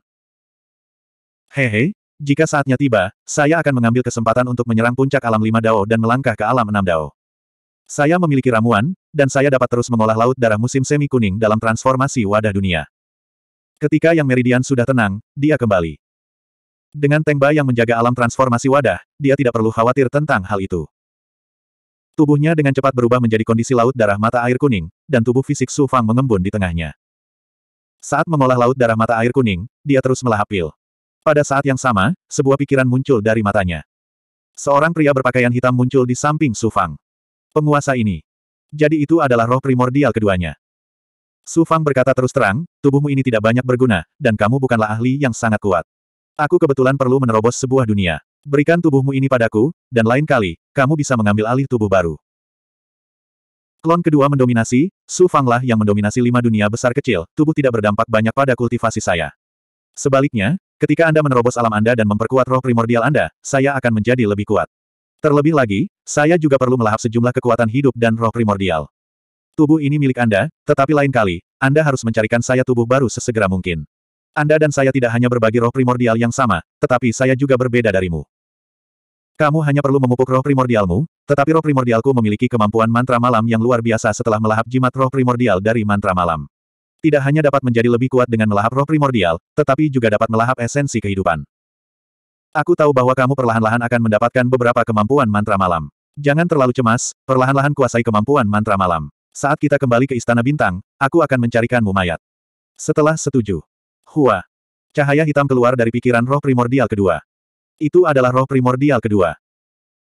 Ketika roh primordial meninggalkan tubuh, tubuh pria berbaju hitam, yang roh primordialnya telah dimakan dan diambil alih oleh Su Fang, tiba-tiba menjadi dingin. Meski masih bernapas, ia tidak memiliki pikiran dan hanya berupa mayat hidup. Tidak perlu bersikap sopan. Dia melambaikan tangannya dan mengambil ramuan emas dari perut bagian bawah pria berbaju hitam. Kemudian, dia mengeluarkan sebagian besar energi vitalnya dan melemparkan pria berbaju hitam itu ke laut darah Acheron. Ini adalah pertama kalinya. Ini adalah pertama kalinya Su Fang ingin melahap seorang kultivator dengan laut darah Acheron. Pria berbaju hitam itu jatuh ke dalam air darah dan tenggelam di dalamnya sejak awal. Ada api merah dan asap yang mengejutkan, dan kemudian kulitnya dimakan oleh air darah. Kulitnya terkelupas selapis demi selapis, memperlihatkan dagingnya. Dagingnya mulai meleleh seperti es di air darah. Segera, kurang dari dua per tiga tubuhnya tersisa, dan masih dimakan dengan kecepatan yang mengejutkan. Kecepatan pemurniannya sangat cepat sehingga Su Fang sulit mempercayai bahwa ini adalah kemampuan laut darah Acheron. Tentu saja, itu tidak dapat dipisahkan dari tubuh sejati transformasi darah, tubuh sejati teratai hitam, kemampuan yang disempurnakan, dan kekuatan yin dan yang. Tidak mungkin Laut Darah Acheron saja memiliki kecepatan yang luar biasa. Setelah banyak sesi budidaya, Laut Darah Acheron sudah memiliki semua jenis kemampuan Sufang. Kombinasi kedua kemampuan tersebut menghasilkan kecepatan melahap yang tidak normal. Bisa juga dikatakan bahwa teknik budidaya nomor satu Kaisar Iblis Acheron telah meningkat tanpa disadari setelah bertemu Sufang. Kemampuannya menjadi lebih tidak normal. Dan ini hanyalah keadaan awal. Ketika Su Fang benar-benar menguasai Laut Darah Acheron, bahkan dia sendiri tidak dapat memperkirakan sejauh mana melahapnya. Su Fang dengan sengaja menghitung waktu untuk melahap pembangkit tenaga listrik. Butuh waktu sekitar enam hari. Setelah melahapnya, kekuatan tubuh fisiknya jelas meningkat. Air darah melonjak lebih deras, dan energi vital dalam tubuhnya meningkat pesat. Dia akan mencapai puncak alam abadi surgawi lima dao. Baru setelah itu dia melahap inti emas di tangannya dan langsung memasukkannya ke dalam roda yin yang dao. Setelah inti emas hancur, semua kekuatan dilahap dan menghilang di roda yin yang dao. Air darah meningkatkan kekuatan hidup dan energi vitalnya, dan Su Fang di tengah air darah juga meningkatkan energi vitalnya. Dengan dua pendekatan sekaligus, bagaimana mungkin budidaya ini tidak menakutkan? Tentu saja, hanya dengan menguasai laut darah Acheron seseorang dapat memiliki metode budidaya yang menakjubkan. Sekitar tiga tahun kemudian, laut darah Acheron tersedot ke dalam tubuh Su Fang dengan membuka mulutnya dan terbang keluar dari Crucible Transformation. Ketika transformasi wadah menghilang di telapak tangannya, di bawah penjagaan Teng Ba, lapisan ki kesengsaraan meledak di tubuhnya. Aura kesengsaraan keluar dan tiba-tiba berubah menjadi api kesengsaraan yang berkobar-kobar dalam keadaan yang menakutkan. Api itu terus menyala dan segera menutupi area seluas lebih dari seratus kaki. Kotoran di plasenta menyembur keluar, dan kekuatan benturannya mengguncang tubuh Su Fang hingga mengeluarkan suara berderak. Semua ini tidak menyakitkan, yang bisa dia lakukan hanyalah menunggu. Ketika dia bisa mengendalikan kekuatan promosi, dia mulai melahap ramuan itu dan membiarkan kekuatan ramuan itu membantunya. Segera, terobosannya selesai dan ada enam tanda dao di sekujur tubuhnya. Jika dilihat lebih dekat, asal inti emas, meridian, selaput daging, dan bukaan ilahi semuanya memiliki enam tanda dao, yang berarti Su Fang telah melangkah ke alam abadi surgawi enam jalan. Alam abadi surgawi enam jalan. Pada saat ini, ketika dia melepaskan kemampuan penginderaannya yang sempurna, dia sudah dapat menempuh jarak 25 mil. Ini adalah tepi gurun, tapi kemampuan penginderaannya sudah sangat menakjubkan. Haha, aku sudah lama tidak menggunakan tubuh sejati transformasi darahku. Mari kita lihat betapa kuatnya tubuh sejati transformasi darahku. Cici. Tiba-tiba, saat energi vital di tubuhnya masih lemah, dia membentuk segel. Kulitnya tiba-tiba berubah dari keadaan aslinya menjadi merah darah dan banyak pola darah terbentuk di wajah dan kulitnya. Kepulan-kepulan. Tulang darah tumbuh di bahu kiri dan kanannya, yang kemudian berubah menjadi tanduk darah dan mulai tumbuh ke depan. Proses ini seratus kali lebih menyakitkan daripada terobosannya. Dia bisa merasakan tulangnya dicabut oleh tanduk darah. Seluruh kekuatannya terkonsentrasi pada tanduk darah. Segera.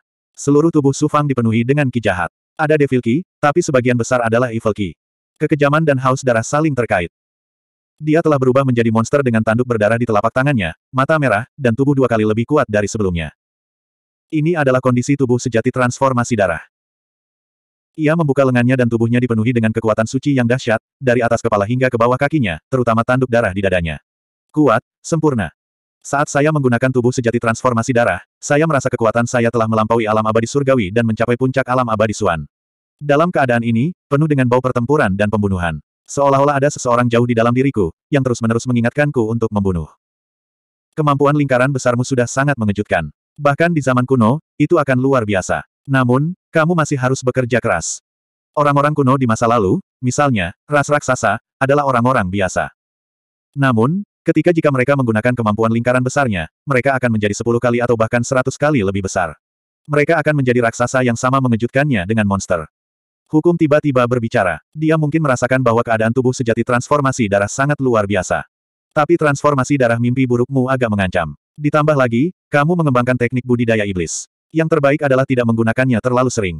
Jika kamu kehilangan kendali atas kemauanmu dalam pertempuran, kamu akan jatuh ke jalur iblis. Tubuh manusia bisa menjadi seratus kali lebih besar. Kekuatan tubuh sempurna berada di luar imajinasi Sufang. Segera, tubuh sejati transformasi darah menghilang. Saat Sufang kembali normal, dia mengaktifkan tubuh sejati teratai hitam. Sudah lama sekali sejak dia mengaktifkan tubuh aslinya. Ci-ci-ci. Dia tidak menyangka bahwa ketika dia mengaktifkan tubuh sejati teratai hitam, benang teratai berwarna merah darah akan tumbuh dari telapak tangannya. Mereka sangat tajam dan diperkirakan setidaknya sekuat artefak dao tingkat rendah, atau bahkan lebih kuat. Benang darah teratai hitam ada di sekujur tubuhku sekarang. Aku bisa membiarkan ki sejati dan darahku mengalir perlahan di dalamnya. Tapi benang darah teratai salju masih terlalu tipis. Ketika menjadi seratus kali lebih tebal, aku akan bisa melakukannya gunakan ki sejatiku secara normal. Pada saat itu, kekuatan hidup dan kultivasiku akan lebih tinggi lagi. Benang darah teratai hitam tumbuh sekitar satu meter panjangnya dan menghilang di telapak tangannya. Selanjutnya, dia mulai mengolah tubuh berlian raksasa dan kemampuan ilahi lainnya. Dengan bantuan pil, kekuatannya terus melangkah ke keadaan normal alam enam jalan. Beberapa tahun kemudian, konstelasi sembilan surga. Sesosok terbang keluar dari penghalang. Itu adalah Sufang. Kali ini, dia pergi selama 20 tahun. Setelah mengalami hidup dan mati di dunia astral Huang Ze, sikap, aura, dan tatapannya semuanya berbeda. Ada juga aura yang lebih sederhana. Dia tidak terlihat seperti seorang kultivator yang baru berkultivasi selama beberapa ratus tahun di dunia besar. Melewati kawasan Huang Fu Dao yang sudah dikenalnya, dia tahu bahwa Huang Fu Fei masih berada di dunia astral Huang Ze. Dia tidak peduli dan segera melewati sembilan Dao Grounds dan kembali ke alam rahasia harta karun. Dia pertama kali kembali ke istana dikelilingi reruntuhan dan masih sepi. Istananya berada jauh di dalam reruntuhan dan tidak dapat menarik perhatian. Memasuki istana, semuanya sama saja. Dia hanya menaikkan ketinggian formasi dan beristirahat selama beberapa hari. Immortal Longgu mengiriminya berita. Ini terutama tentang Dai Yi. Ketika dia kembali, dia memberitahu eselon atas bahwa Dai Yi telah jatuh ke ruang waktu ekstrateritorial. Eselon atas Istana Bintang memerintahkan para ahli untuk berhenti mencari Dai Yi dan mempersiapkan pelatihan yang akan diadakan oleh empat sekte besar di dunia astral Huangse. Dia juga tahu bahwa banyak murid istimewa telah pergi ke dunia astral Huang Ze untuk mencari petualangan mereka sendiri. Setelah mengetahui semua ini, Su Fang terus menyerap gas ungu hamil besar dan bergabung dengan roh hukum gas ungu untuk meningkatkan keberuntungannya lagi. Puncak kolam surgawi.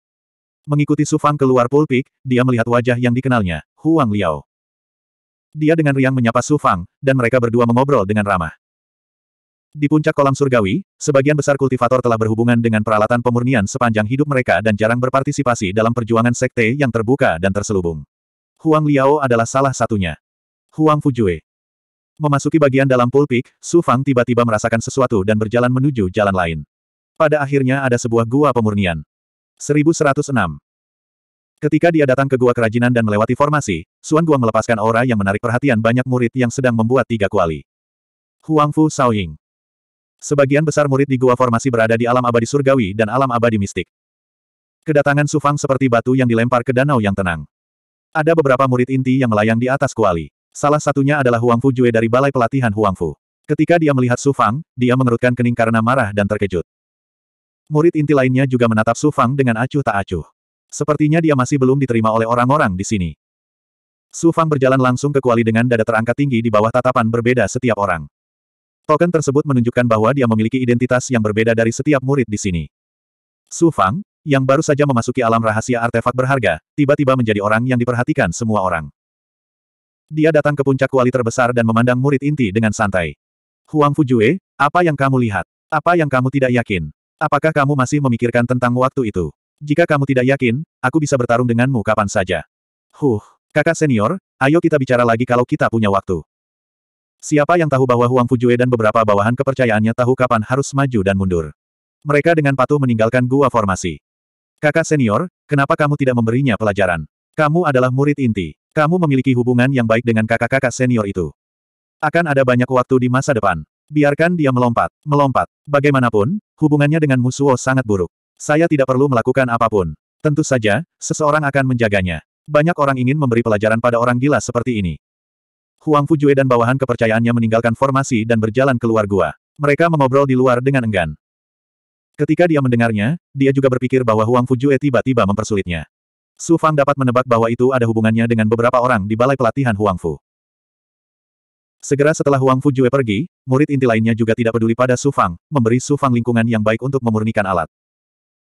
Dia mengeluarkan beberapa bahan mentah dan batu ki yang telah dia persiapkan sebelumnya dan melemparkannya ke dalam kuali terbesar.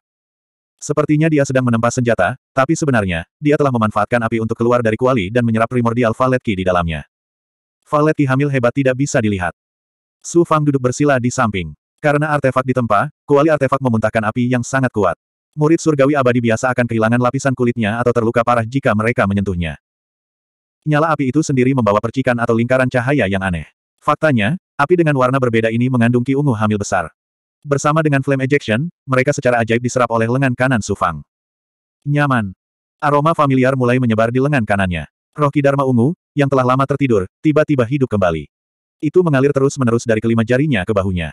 Rasanya seluruh lengan kanannya adalah aliran cahaya ungu. Kekuatan Ki Ungu mengalir bola-balik. Selain itu, Ki Valet hamil besar yang meresap ke sekeliling kuali juga berkumpul dengan api dari tiga kuali artefak. Semua itu dilahap oleh Su Fang. Dia dapat dengan jelas merasakan roh Ki Dharma Ungu mengalir keluar dari lengannya dan masuk ke dalam tubuhnya. Sayangnya, Valet Ki hamil hebat saja tidak cukup. Dia masih perlu menyerap lebih banyak. Pada saat yang sama, dia juga menempatkan pagoda enam jalan Suan Huang, labu spiritual awan flaming, dan pedang siang berbintang ke dalam kuali artefak untuk meningkatkan kualitasnya. Alat dao tingkat menengah ini tidak semenarik alat dao tingkat tinggi. Selama proses ini, beberapa murid datang untuk mengobrol dengan Su Fang. Baru pada saat itulah mereka menyadari bahwa Su Fang tidak sulit untuk diajak berteman. Sekitar setahun kemudian, Kivalet hamil besar di kuali artefak terbesar di tengahnya diserap sepenuhnya oleh Su Fang, yang telah mencapai alam enam jalan abadi surgawi. Sayangnya, roh Ki Dharma ungu masih menyatu di lengan kanannya. Kemudian, dia diam-diam menyerap roh Ki Dharma ungu dari dua kuali artefak lainnya. Ketika dia dinominasikan sebagai murid khusus, dia menyerap semua kivalet hamil besar dari tiga kuali artefak di dalam kuali. Sepertinya tidak akan ada lagi kivalet hamil hebat yang tersisa di kuali ini. Menggunakan kuali artefak Istana Bintang untuk memurnikan tiga harta Dharma terlalu nyaman. Saya tidak perlu khawatir tentang apa pun. Saya hanya perlu mengeluarkan beberapa bahan khusus. Pagoda enam jalan Suan Huang, labu spiritual awan flaming, dan Starry Daylight Sword semuanya terus meningkat. Waktu berlalu begitu saja. Fokus utamanya adalah pada pengembangan dan peningkatan tiga harta Dharma. Sedangkan untuk pemurnian, dia tidak berusaha keras untuk melakukannya. Baginya, menyempurnakan alat dao tingkat rendah tidaklah sulit sama sekali. Sekitar lima tahun kemudian, tiba-tiba ada keriuhan di dalam kuali. Ternyata Sufang berhasil menyempurnakan pedang terbang tingkat rendah, yang membuat iri banyak orang. Tidak peduli betapa berbakatnya murid-murid ini, mereka hanya dapat menyempurnakan alat dao tingkat rendah setiap beberapa ratus tahun. Di sisi lain, Su Fang telah menyempurnakan dua alat dao tingkat rendah dalam waktu kurang dari seratus tahun. Itulah perbedaannya. Setelah menyempurnakan pedang terbang, Su Fang terbang keluar dari kuali dan menuju gunung terdalam di tanah misteri senjata harta karun. Itu adalah tempat di mana otoritas tanah misteri senjata harta karun berkumpul. Begitu dia tiba di aula, dia melihat beberapa wajah yang dikenalnya. Dia tidak tahu apakah ini kebetulan atau waktu yang tepat, tapi ada banyak petinggi berkumpul di aula. Bahkan ada penatua tanah misteri senjata harta karun, Tuan Luan. Setelah bertanya-tanya, dia mengetahui bahwa dalam 10 tahun, Istana Bintang akan bersatu dengan tiga pembangkit tenaga listrik lainnya dan mengadakan pelatihan bersama di Huang Ze Astral. Akan ada 100 ribu murid dari Istana Bintang yang bergabung. Tanah misteri senjata harta karun harus menyiapkan harta dharma dalam jumlah besar dalam waktu sesingkat itu. Hampir semuanya adalah alat dao tingkat rendah hingga menengah, serta beberapa alat dao tingkat atas dan alat dao tingkat atas. Ketika Su Fang mempresentasikan alat itu di depan semua orang, para petinggi memujinya. Dalam waktu sesingkat itu, dia telah menyempurnakan alat Dao lainnya. Master Luan telah menyaksikan pertumbuhan Su Fang selangkah demi selangkah sejak kompetisi 10.000 tahun. Meski mereka tidak banyak berinteraksi, dia selalu menyadari perkembangannya. Dengan itu, Su Fang punya waktu 100 tahun lagi. Setelah 100 tahun, dia akan menyerahkan alat Dao yang telah dia sempurnakan. Selama 100 tahun berikutnya, dia bisa mengendalikannya sendiri. Secara kebetulan, Wang Yuzhen telah mengiriminya banyak pemikiran selama bertahun-tahun. Karena itu, Su Fang juga perlu mengumpulkan beberapa sumber alkimia. Setelah menghubungi pihak lain, Wang Yuzhen kebetulan berada di dojo kuno yang hebat dan menyuruhnya untuk langsung pergi ke sana. Dojo kuno yang hebat. Dia berpikir bahwa dia akan pergi ke dunia spiritual body. Setelah meninggalkan tanah misteri senjata harta karun, dia terbang sebentar di reruntuhan dojo dan tiba di alam yang mengejutkan. Dojo kuno yang hebat. Ini adalah salah satu dojo terpenting di konstelasi sembilan surga. Itu adalah tempat di mana banyak orang jenius bangkit. Mengaktifkan token, sebagai murid inti dan murid khusus yang dinominasikan, Su Fang tidak terbelenggu oleh susunan dan dengan mudah masuk ke dalam susunan. Ikuti saja auranya. Dojo kuno besar sangat besar. Pusatnya adalah pesona budidaya, dan area luarnya adalah gua murid.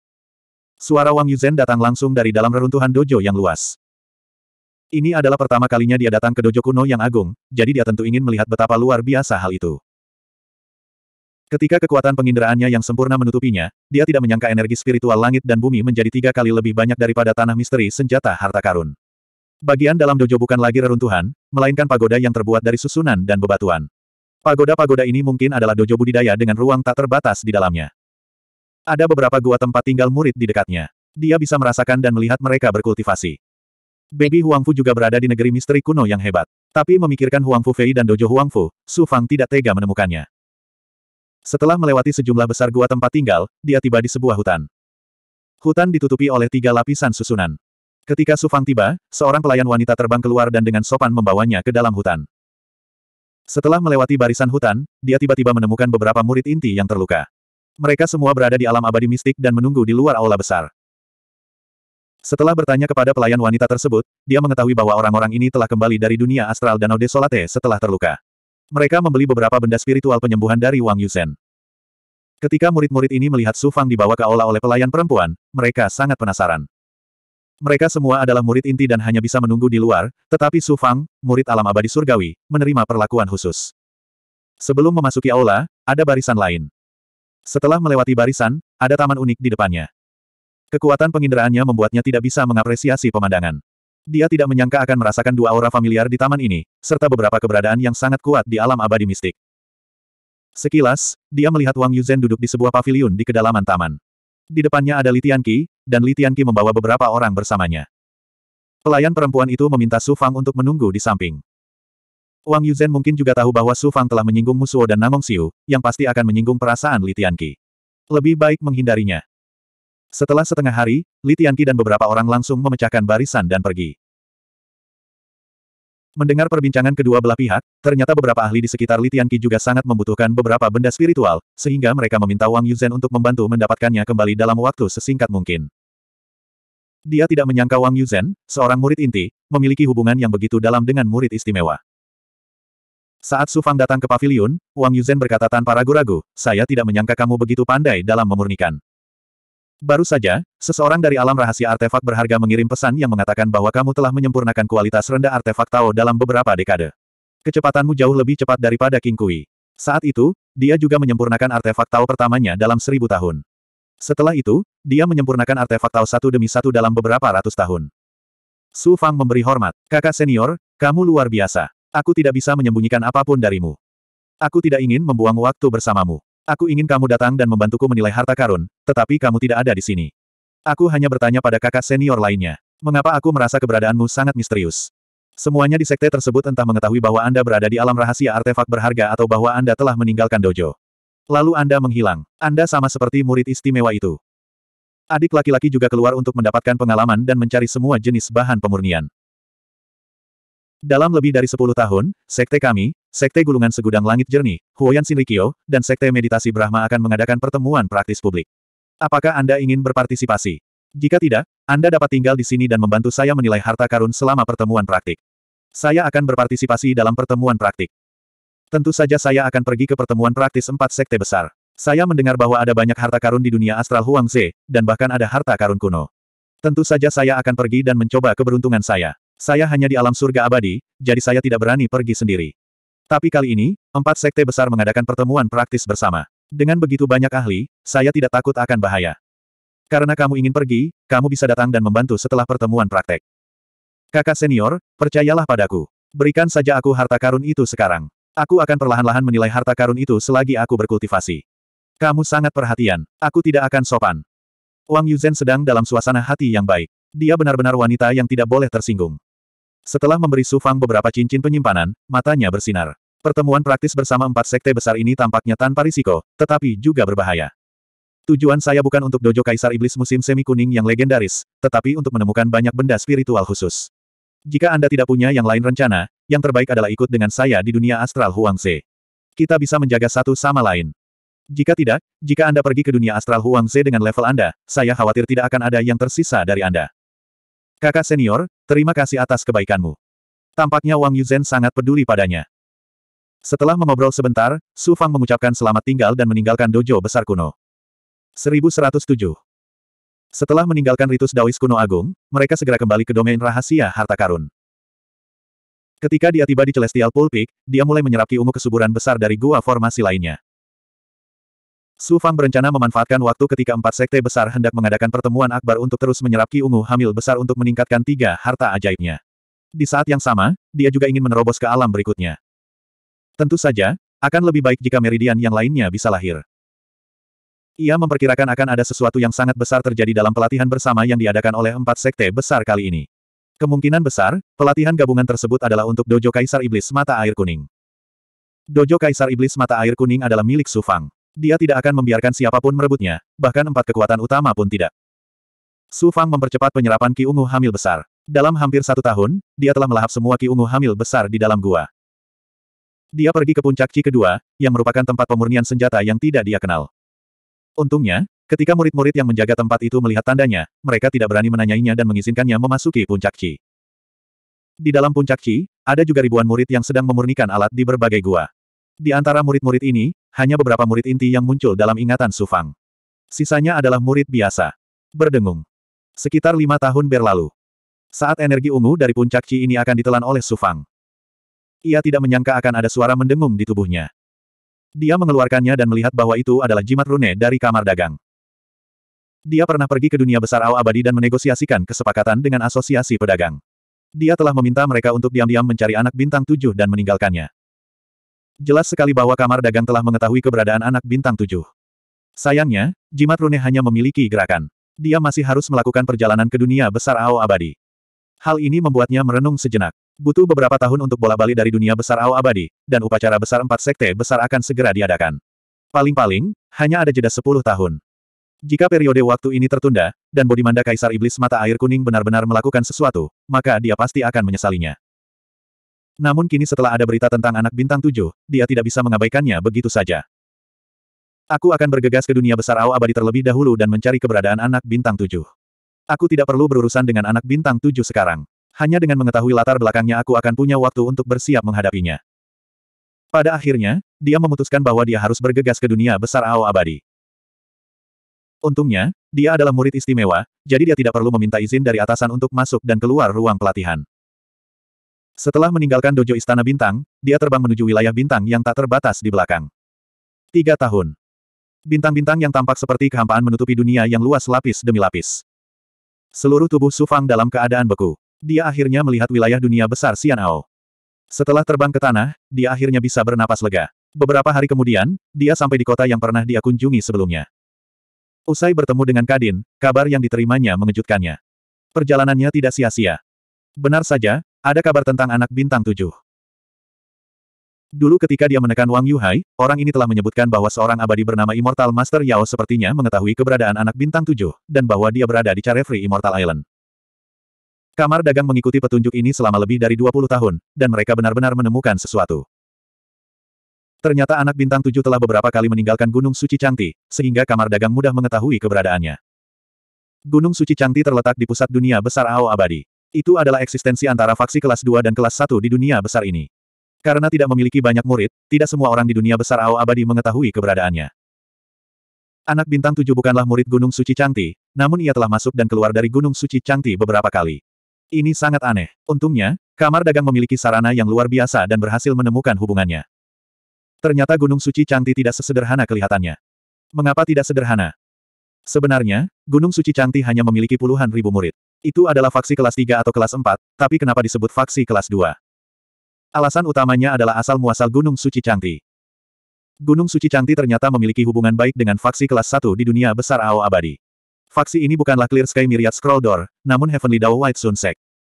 Sekte Matahari Putih Dao Surgawi.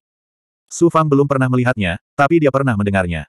Ada banyak faksi besar di dunia besar Ao Abadi. Clear Sky Myriad Scroll Door dan Heavenly Dao White Sun Sect adalah perwakilannya. Tentu saja, ada juga Istana Kaisar Ning. Hanya saja Istana Kaisar Ning bukanlah faksi budidaya, melainkan eksistensi khusus yang dibangun oleh pembangkit tenaga listrik. Hubungan antara Sekte Matahari Putih Dao Surgawi dan Gunung Suci Cangti sebenarnya sangat sederhana. Gunung Suci Cangti telah berdiri selama puluhan ribu tahun. Pendiri aslinya adalah seorang tetua dari Sekte Matahari Putih Dao Surgawi di masa lalu. Dia adalah seorang penatua dengan kekuatan luar biasa. Kemudian, dia meninggalkan Sekte Matahari Putih Dao Surgawi dan datang ke suatu wilayah untuk mendirikan Gunung Suci Cangti. Karena alasan ini, dia dapat membentuk faksi dalam waktu puluhan ribu tahun. Semua ini berhubungan dengan Seven Star Child. Menurut Kamar Dagang, anak bintang tujuh sekarang menjadi murid Sekte Matahari Putih Dao Surgawi. Lebih-lebih lagi. Gurunya juga seorang tetua dan memiliki hubungan dekat dengan orang terkuat di Gunung Suci Cangti.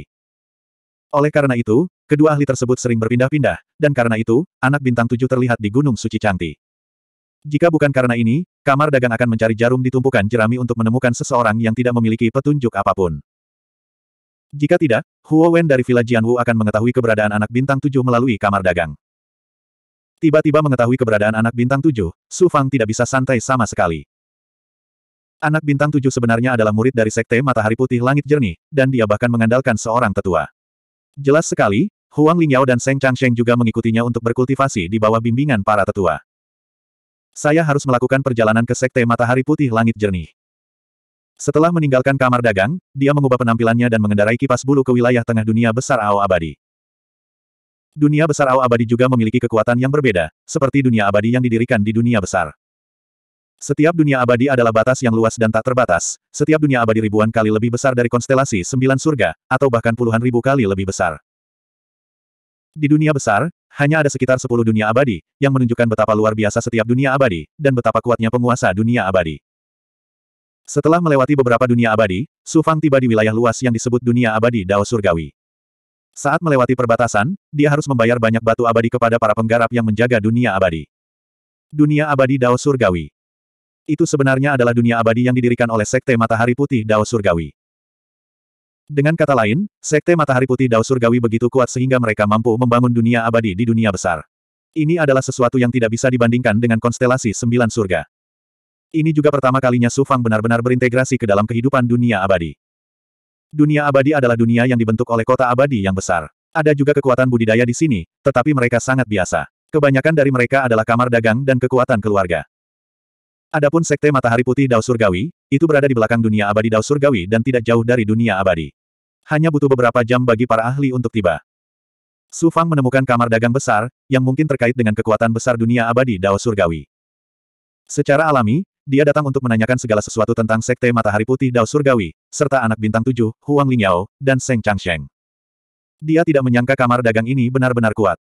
Mereka memiliki catatan tertentu tentang sebagian besar murid jenius dari Sekte Matahari Putih Dao Surgawi dan dapat diperdagangkan sesuka hati.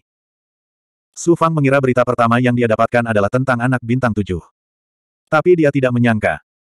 Ketika dia menerima dua informasi tersebut, dia menemukan bahwa Seng Changsheng tidak ada di antara mereka. Sebaliknya, yang ada hanya Seven Star Child dan Huang Lingyao. Selain itu, jimat rune yang terkait dengan informasi Huang Lingyao jelas lebih mendalam daripada milik Seng Changsheng. Itu cukup untuk menunjukkan bahwa di Sekte Matahari Putih Dao Surgawi, Huang Lingyao memiliki lebih banyak berita daripada anak bintang tujuh. Setelah melepaskan dua jimat rune, dia tiba-tiba terkejut. Segala macam catatan tentang Huang Lingyao dan Seven Star Child bagaikan gelombang yang menyapu lautan roh vital. Ternyata setelah anak bintang tujuh naik ke dunia besar di alam hutan, dia bergabung dengan Sekte Matahari Putih Dao Surgawi melalui usahanya sendiri di dunia besar Ao Abadi. Dia menjadi seorang jenius dari Sekte Matahari Putih Dao Surgawi dengan bakat dan usahanya sendiri. Meskipun dia tidak menonjol, dia dihargai oleh seorang tetua dan diterima sebagai murid. Adapun Huang Lingyao.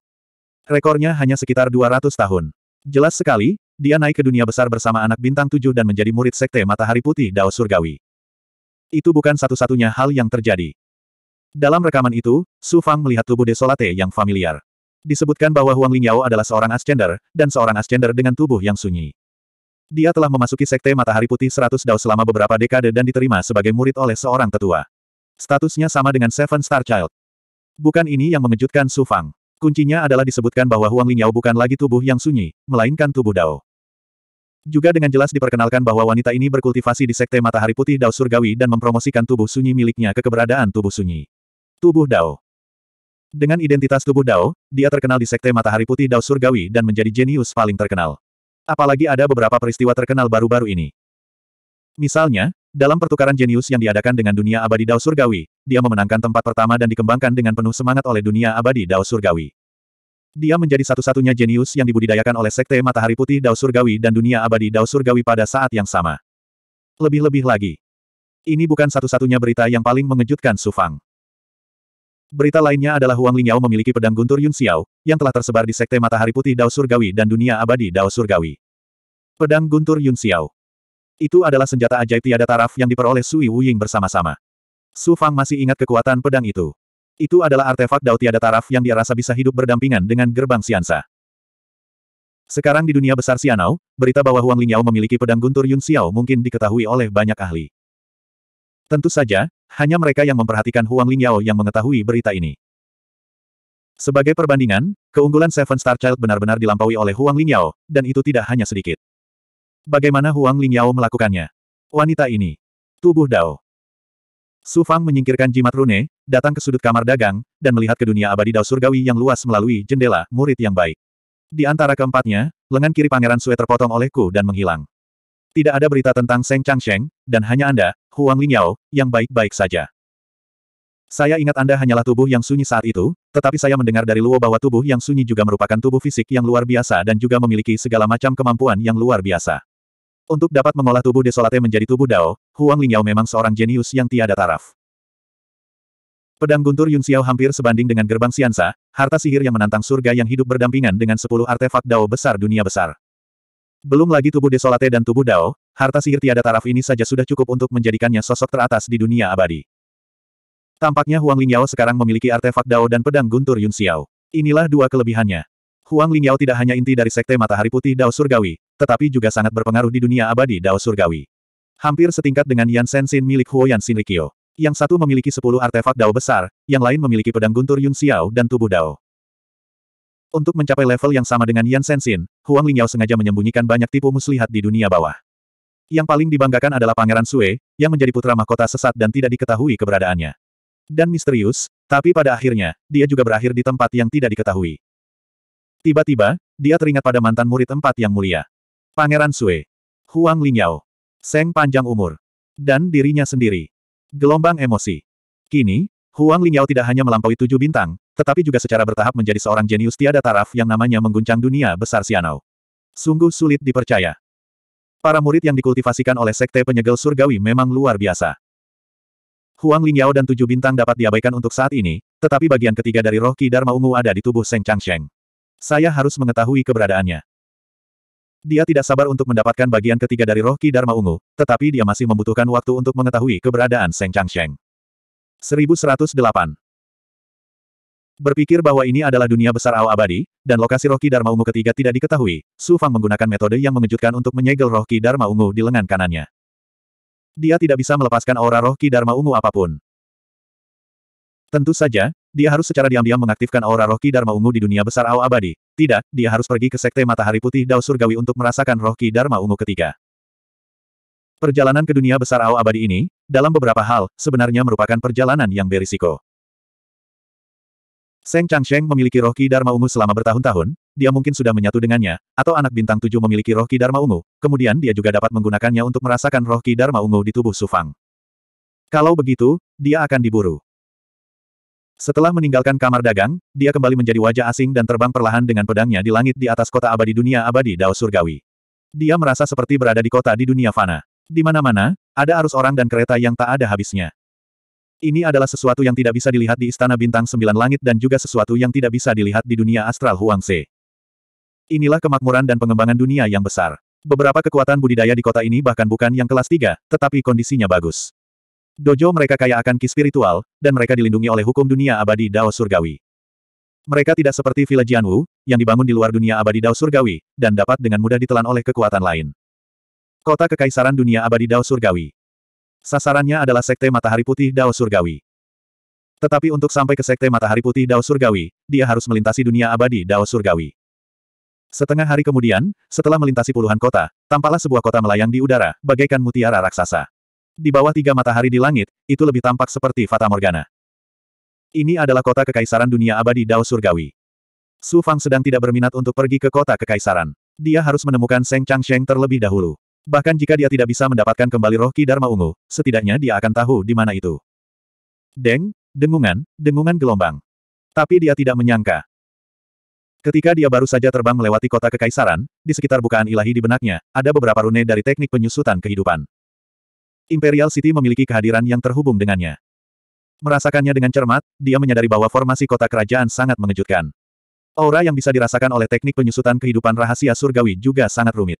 Untuk saat ini, dia tidak dapat membedakannya. Entah jaraknya terlalu jauh, atau auranya dilindungi oleh formasi kota kerajaan. Huang Lingyao sering datang ke alam surgawi Dao Abadi. Mungkinkah auranya dan teknik penyusutan kehidupan rahasia surgawi selalu mengingatkan saya? Saya masih harus melakukan perjalanan ke kota abadi. Mungkin Huang Lingyao ada di dalam. Saya harus melakukannya gunakan teknik penyusutan kehidupan rahasia surgawi untuk membuat auraku semakin kacau. Kalau tidak, jika aku memasuki kota abadi, bukankah itu sama dengan masuk ke dalam jebakan? Dia memutuskan untuk melakukan perjalanan ke sana. Dia menggunakan teknik penyusutan kehidupan rahasia surgawi untuk menutupi auranya sendiri. Sayangnya, dia tidak bisa menggunakan Ghost Face raksasa. Ketika para penggarap jahat muncul di dunia abadi Dao Surgawi, mereka akan segera ditindas. Begitu mereka tiba di penghalang kota kerajaan, seorang ahli muncul di luar barisan. Dia mengajukan beberapa pertanyaan kepada Su Fang dan membayar batu abadi dalam jumlah yang mencengangkan sebelum dia diizinkan masuk ke dalam barisan. Begitu dia melangkah ke dalam formasi, hamparan pegunungan dan sungai yang luas muncul di depan matanya. Kota tanpa batas dikelilingi oleh hutan. Ada banyak istana dan bangunan di kota. Warnanya emas dan mempesona, bersinar dalam ki abadi. Pemandangannya indah dan lembut. Semakin dalam mereka pergi, semakin luas pula istana dan bangunannya yang padat. Terutama di kedalaman yang dikelilingi oleh kota abadi yang tak terhitung jumlahnya, ada cahaya keemasan yang mengambang. Itu mungkin tempat di mana kekuatan dunia abadi Dao Surgawi berkumpul. Su Fang melintas ke jalanan kota perbatasan. Bahkan kolam abadi di luar kota kerajaan masih ramai. Dia bisa melihat dewa mistik di mana-mana, dan kebanyakan dari mereka adalah dewa surgawi. Apa yang tidak diharapkan Su Fang adalah bahwa dari waktu ke waktu, dia dapat melihat murid-murid konstelasi sembilan surga, Huoyan Shinrikyo, dan gerbang gulir segudang langit jernih. Meski jumlahnya sangat sedikit, dia masih bisa melihat beberapa. Saudaraku, aku ingin keluar dan beristirahat. Saat ini, di dalam Void Dust Cauldron, Bai Ling sedang menunggu dengan cemas. Dia benar-benar ingin terbang keluar dari transformasi kuali. Saat kita meninggalkan kota kerajaan, aku akan membiarkan Sister Bai keluar jalan-jalan. Mungkin ada mata-mata Huang Lingyao di kota kerajaan. Itu terlalu berbahaya. Huang Lingyao, itu jalang. Huff. Kakak, dengan kekuatanmu saat ini dan kakak Bai, kamu pasti bisa menyingkirkannya. Dia telah mengolah tubuh desolatenya menjadi tubuh Dao, dan dia memiliki pedang guntur Yun Xiao. Kekuatannya saat ini mungkin lebih tinggi dari milikku. Membunuhnya akan menjadi sedikit masalah. Bai Ling terus bersikap nakal. Dia hanya ingin keluar dan menonton kesenangan itu. Tentu saja, Big Goblin lainnya juga ingin melihat dunia abadi yang berkembang pesat. Setelah datang ke dunia abadi besar selama 200 tahun, Su Fang telah berkultivasi di alam ekstrateritorial. Entah itu kehancuran istana bintang atau bahaya alam astral Huang Se. Bukan hanya Big Goblin, Su Fang juga sangat ingin tinggal. Untungnya, Su Fang dapat menggunakan kemampuan mistiknya untuk membiarkan goblin besar lainnya mengikuti matanya dan melihat semua yang dilihatnya. Sepertinya Su Fang sendirian di kolam surgawi, namun kenyataannya, ada sekelompok besar goblin besar dan ahli yang berbincang tentang harta dharma, berbicara dan tertawa. Berdengung. Bas dengungan. Semakin dekat dia, semakin Su Fang menantikannya. Di kedalaman bukaan ilahi miliknya, terdapat rune dao dari teknik penyusutan kehidupan rahasia surga. Pada saat ini, dia akhirnya bisa merasakan aura yang jelas. Teknik penyusutan kehidupan rahasia surga menyebabkan Su Fang tiba-tiba mengeluarkan banyak kabut. Dia melihat cermin. Di permukaan cermin, ada beberapa rune dao mirip kecebong. Dari beberapa rune dao, dia merasakan aura samar dari Seven Star Child. Meski sangat samar, aura ini sama seperti saat dia menghadapi Seven Star Child. Kemudian, muncullah aura yang sangat kuat dan jernih. Beberapa rune dao bahkan secara ajaib menyatu membentuk citra seorang wanita. Auranya sangat familiar, itu adalah mantan murid yang terhormat Dao, Huang Lingyao. Aura terakhir mengejutkan Su Fang. Beberapa sinar cahaya muncul dari rune Dao. Seluruh tubuhnya berwarna ungu tua. Aura ini persis sama dengan roh Ki Dharma ungu di lengan kanannya. Itu sebenarnya memiliki aura roh Ki Dharma ungu di kota Raja Dunia Abadi Dao Surgawi. Di antara banyak Dao rune, ada tiga aura yang paling kuat. Ada juga beberapa aura yang ada, tapi Taiksu tidak bisa merasakannya. Anak bintang tujuh, Huang Lingyao, Roh Ki Dharma Ungu. Saya benar-benar datang ke tempat yang tepat. Sepertinya anak bintang tujuh dan Huang Lingyao sering muncul di kota surgawi Dao Abadi. Su Fang mempercepat langkahnya dan terus mendekati pusat cahaya emas. Ketika dia akhirnya tiba di pusat kota abadi Dao Surgawi, cahaya emas ada di depannya. Itu sebenarnya adalah penghalang mengejutkan yang mengeluarkan cahaya kemasan. Lalu, ada banyak kultivator seperti dia di sekitar. Mereka hanya bisa berhenti dan tidak bisa melangkah ke dalam barisan emas. Ada begitu banyak orang di sini hari ini. Mereka semua ingin masuk dan melihat perjamuan aristokrat alam surgawi Dao abadi yang diadakan sekali dalam seribu tahun. Perjamuan aristokrat. Ada begitu banyak peri dan jenius dari Sekte Matahari Putih Dao Surgawi. Sayang sekali orang biasa tidak diperbolehkan masuk. Untuk masuk, Anda harus membayar setidaknya 50 juta batu abadi bermutu tinggi. Saya mendengar bahwa setelah masuk, Anda hanya bisa tinggal di tepi kota kekaisaran dan tidak bisa, tidak ikut serta dalam perjamuan itu. 50 juta batu abadi bermutu tinggi sudah cukup untuk membeli artefak Dao bermutu tinggi. Tes, biaya masuknya adalah artefak Dao bermutu tinggi. Apakah mereka menipu orang? Itu tidak mahal. Kota kekaisaran ada di dalam barisan. Luar biasa. Ada wanita cantik, berbakat, dan jenius yang legendaris. Mungkin kamu bahkan bisa membangun hubungan baik dengan beberapa ahli yang kuat. Su Fang baru saja tiba di sini kurang dari dua tarikan napas. Pada nafas ketiga, diskusi tanpa akhir datang dari kerumunan penggarap di depan.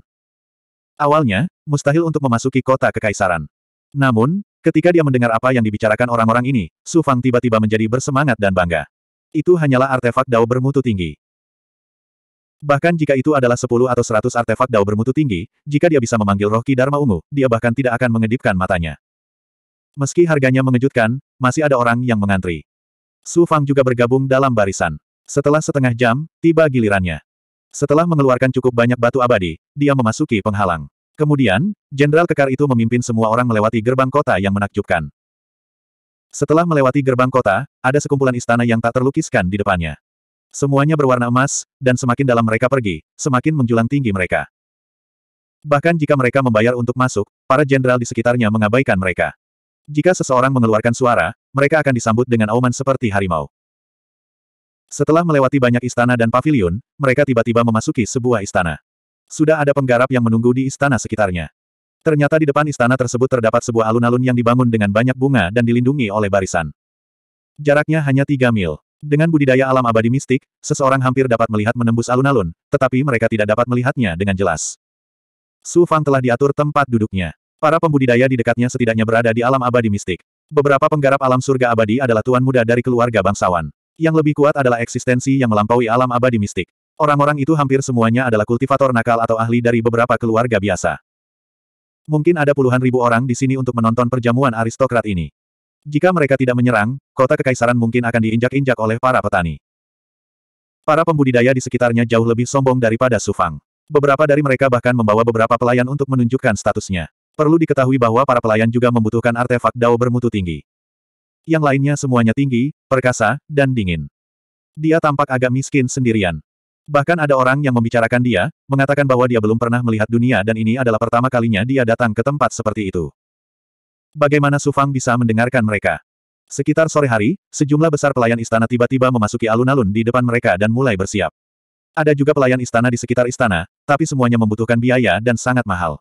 Secangkir anggur berharga puluhan ribu batu abadi bermutu tinggi. Itu membuatnya merasa seperti telah kembali ke alam fana. Semuanya didasarkan pada manfaat. Alam abadi juga membutuhkan uang untuk membangun pijakan. Segera, di bawah sambutan hormat dari sejumlah besar pembudidaya emas, semua jenis pembudidaya luar biasa dan halus memasuki alun-alun. Memang ada banyak kultivator wanita, dan mereka semua sangat cantik.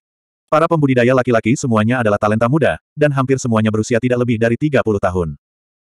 Su Fang mendengar para penggarap di sekitarnya mulai berbicara dengan gila. Para pembudidaya wanita dan pria itu hampir semuanya jenius di alam abadi Dao Surgawi.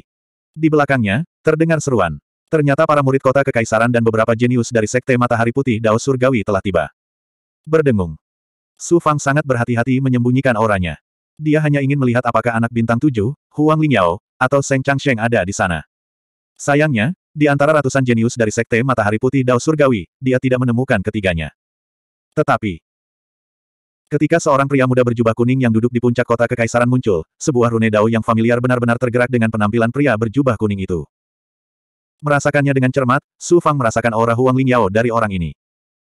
Dan itu bukanlah aura biasa, tapi aura yang sangat jernih. Siapa orang ini? Sebelum dia sempat bertanya, sebagian besar kultivator di sekitarnya sedang mendiskusikan dan memuji orang ini. Baru saat itulah dia tahu. Orang ini adalah alam abadi Dao Surgawi saat ini, putra ketiga dari penguasa alam abadi, Long Saojun. Tidak heran dia bertanggung jawab atas perjamuan yang begitu mulia. Long Saojun juga memiliki identitas lain. Dia bukan hanya putra ketiga kaisar abadi, tetapi juga salah satu dari sepuluh tuan muda terhebat di alam abadi. Sepuluh tuan muda yang hebat. Putra Kaisar Abadi, dan salah satu dari sepuluh tuan muda yang hebat. Saya tiba-tiba teringat pada tuan muda istana ilahi di belakang layang-layang merah. Su Fang terkejut. Dia terus mendengarkan orang-orang di sekitarnya membicarakan Long Sao Jun ini. Informasi yang diterimanya semakin menarik. Misalnya, penguasa alam abadi memiliki tiga putra, tetapi Long Sao Jun ini adalah yang paling berbakat di antara semuanya. Informasi terpentingnya adalah hubungannya dengan Huang Lingyao tidak biasa. 1109. Salah satu dari sepuluh tuan muda terbaik, Long Sao Jun. Setiap kultivator di daerah itu membicarakan orang ini. Dari perbuatannya hingga kebangkitannya di dunia besar Feng Yun Immortal Ao, dan hubungannya dengan Sekte Matahari Putih, mereka semua membicarakannya. Secara khusus, para pembudidaya memiliki pendapat berbeda tentang hubungan antara Long Jun dan Huang Lingyao. Tidak peduli bagaimana mereka bergabung, hubungan mereka luar biasa. Su Fang mulai menggunakan kemampuan tahap kesempurnaannya, memberikan tatapan luar biasa dari puluhan ribu kultivator. Jaraknya hanya tiga mil, tapi pupil matanya sedikit melebar, mencerminkan temperamen Long Jun yang menakjubkan dan luar biasa. Orang ini mengenakan jubah kuning, dengan naga emas bercakar lima melingkarinya, seperti naga yang melindungi tuannya, melindungi Long Jun. Usianya baru 25 tahun, namun ia memiliki aura tenang dan mendominasi yang tidak dimiliki orang seusianya. Tidak hanya dia tampan, tapi dia juga memiliki keagungan seorang tuan. Su Fang juga melihat Hong Li dan kekuatan raja yang familiar dilepaskan di sekelilingnya. Kaisar Qi. Kaisar Qi sungguh kuat, ia sepuluh ribu kali lebih kuat daripada para ahli di dunia Dewa Purba. Su Fang dah terkejut. Saat dia terus melihat, Kaisar Qi menjadi lebih jelas. Sebenarnya ada bayangan naga yang melingkarinya. Itu terlalu mengejutkan, seolah-olah Long Jun benar-benar memiliki naga dewa yang melindunginya. Menarik. Pada saat ini, Lau, yang berada di dalam batu giok darah, juga berbicara. Lau pun sepertinya melihat sesuatu yang luar biasa. Dia berkata dengan lemah, Long Jun ini mengembangkan beberapa teknik klan naga dan menyerap beberapa ki naga dari klan naga. Itu sebabnya dia dapat memiliki naga ki dengan tubuh abadi.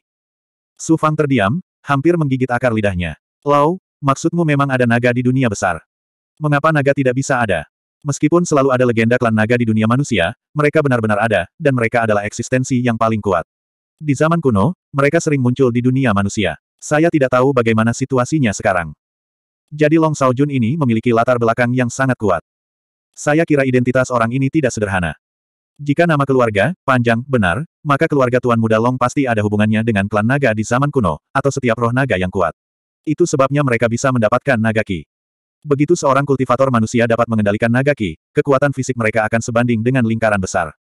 Mengerikan sekali. Berapa tahun saya berkultivasi untuk memiliki tubuh fisik yang luar biasa. Tapi Tuan Muda Long dengan mudah memahaminya. Jangan kaget, sekali naga ki dikuasai oleh seorang kultivator, ia dapat memperkuat tubuh fisik. Namun, tanpa kemampuan lain dari tahap kesempurnaan agung, seperti pendengaran, penglihatan, del. Perbedaan yang jelas antara seorang kultivator naga ki dan seorang kultivator tahap kesempurnaan agung. Tubuh fisik orang seperti ini akan sangat kuat, dan energi yang mereka akan sangat mengejutkan, namun mereka tidak memiliki kemampuan lain dari tubuh fisik. Di sisi lain dengan kata lain, kamu juga memiliki kekuatan tubuh fisiknya, tetapi dia tidak memiliki kemampuan fisik yang kamu miliki. Jika kamu tidak memberitahuku, aku benar-benar tidak akan tahu tentang rahasia ini. Jadi, Tuan Muda Long, jangan jadikan keluarga panjang sebagai musuhmu.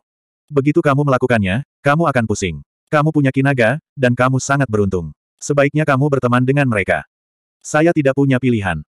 Haha, jika kamu benar-benar ingin menjadi musuhku, biarlah.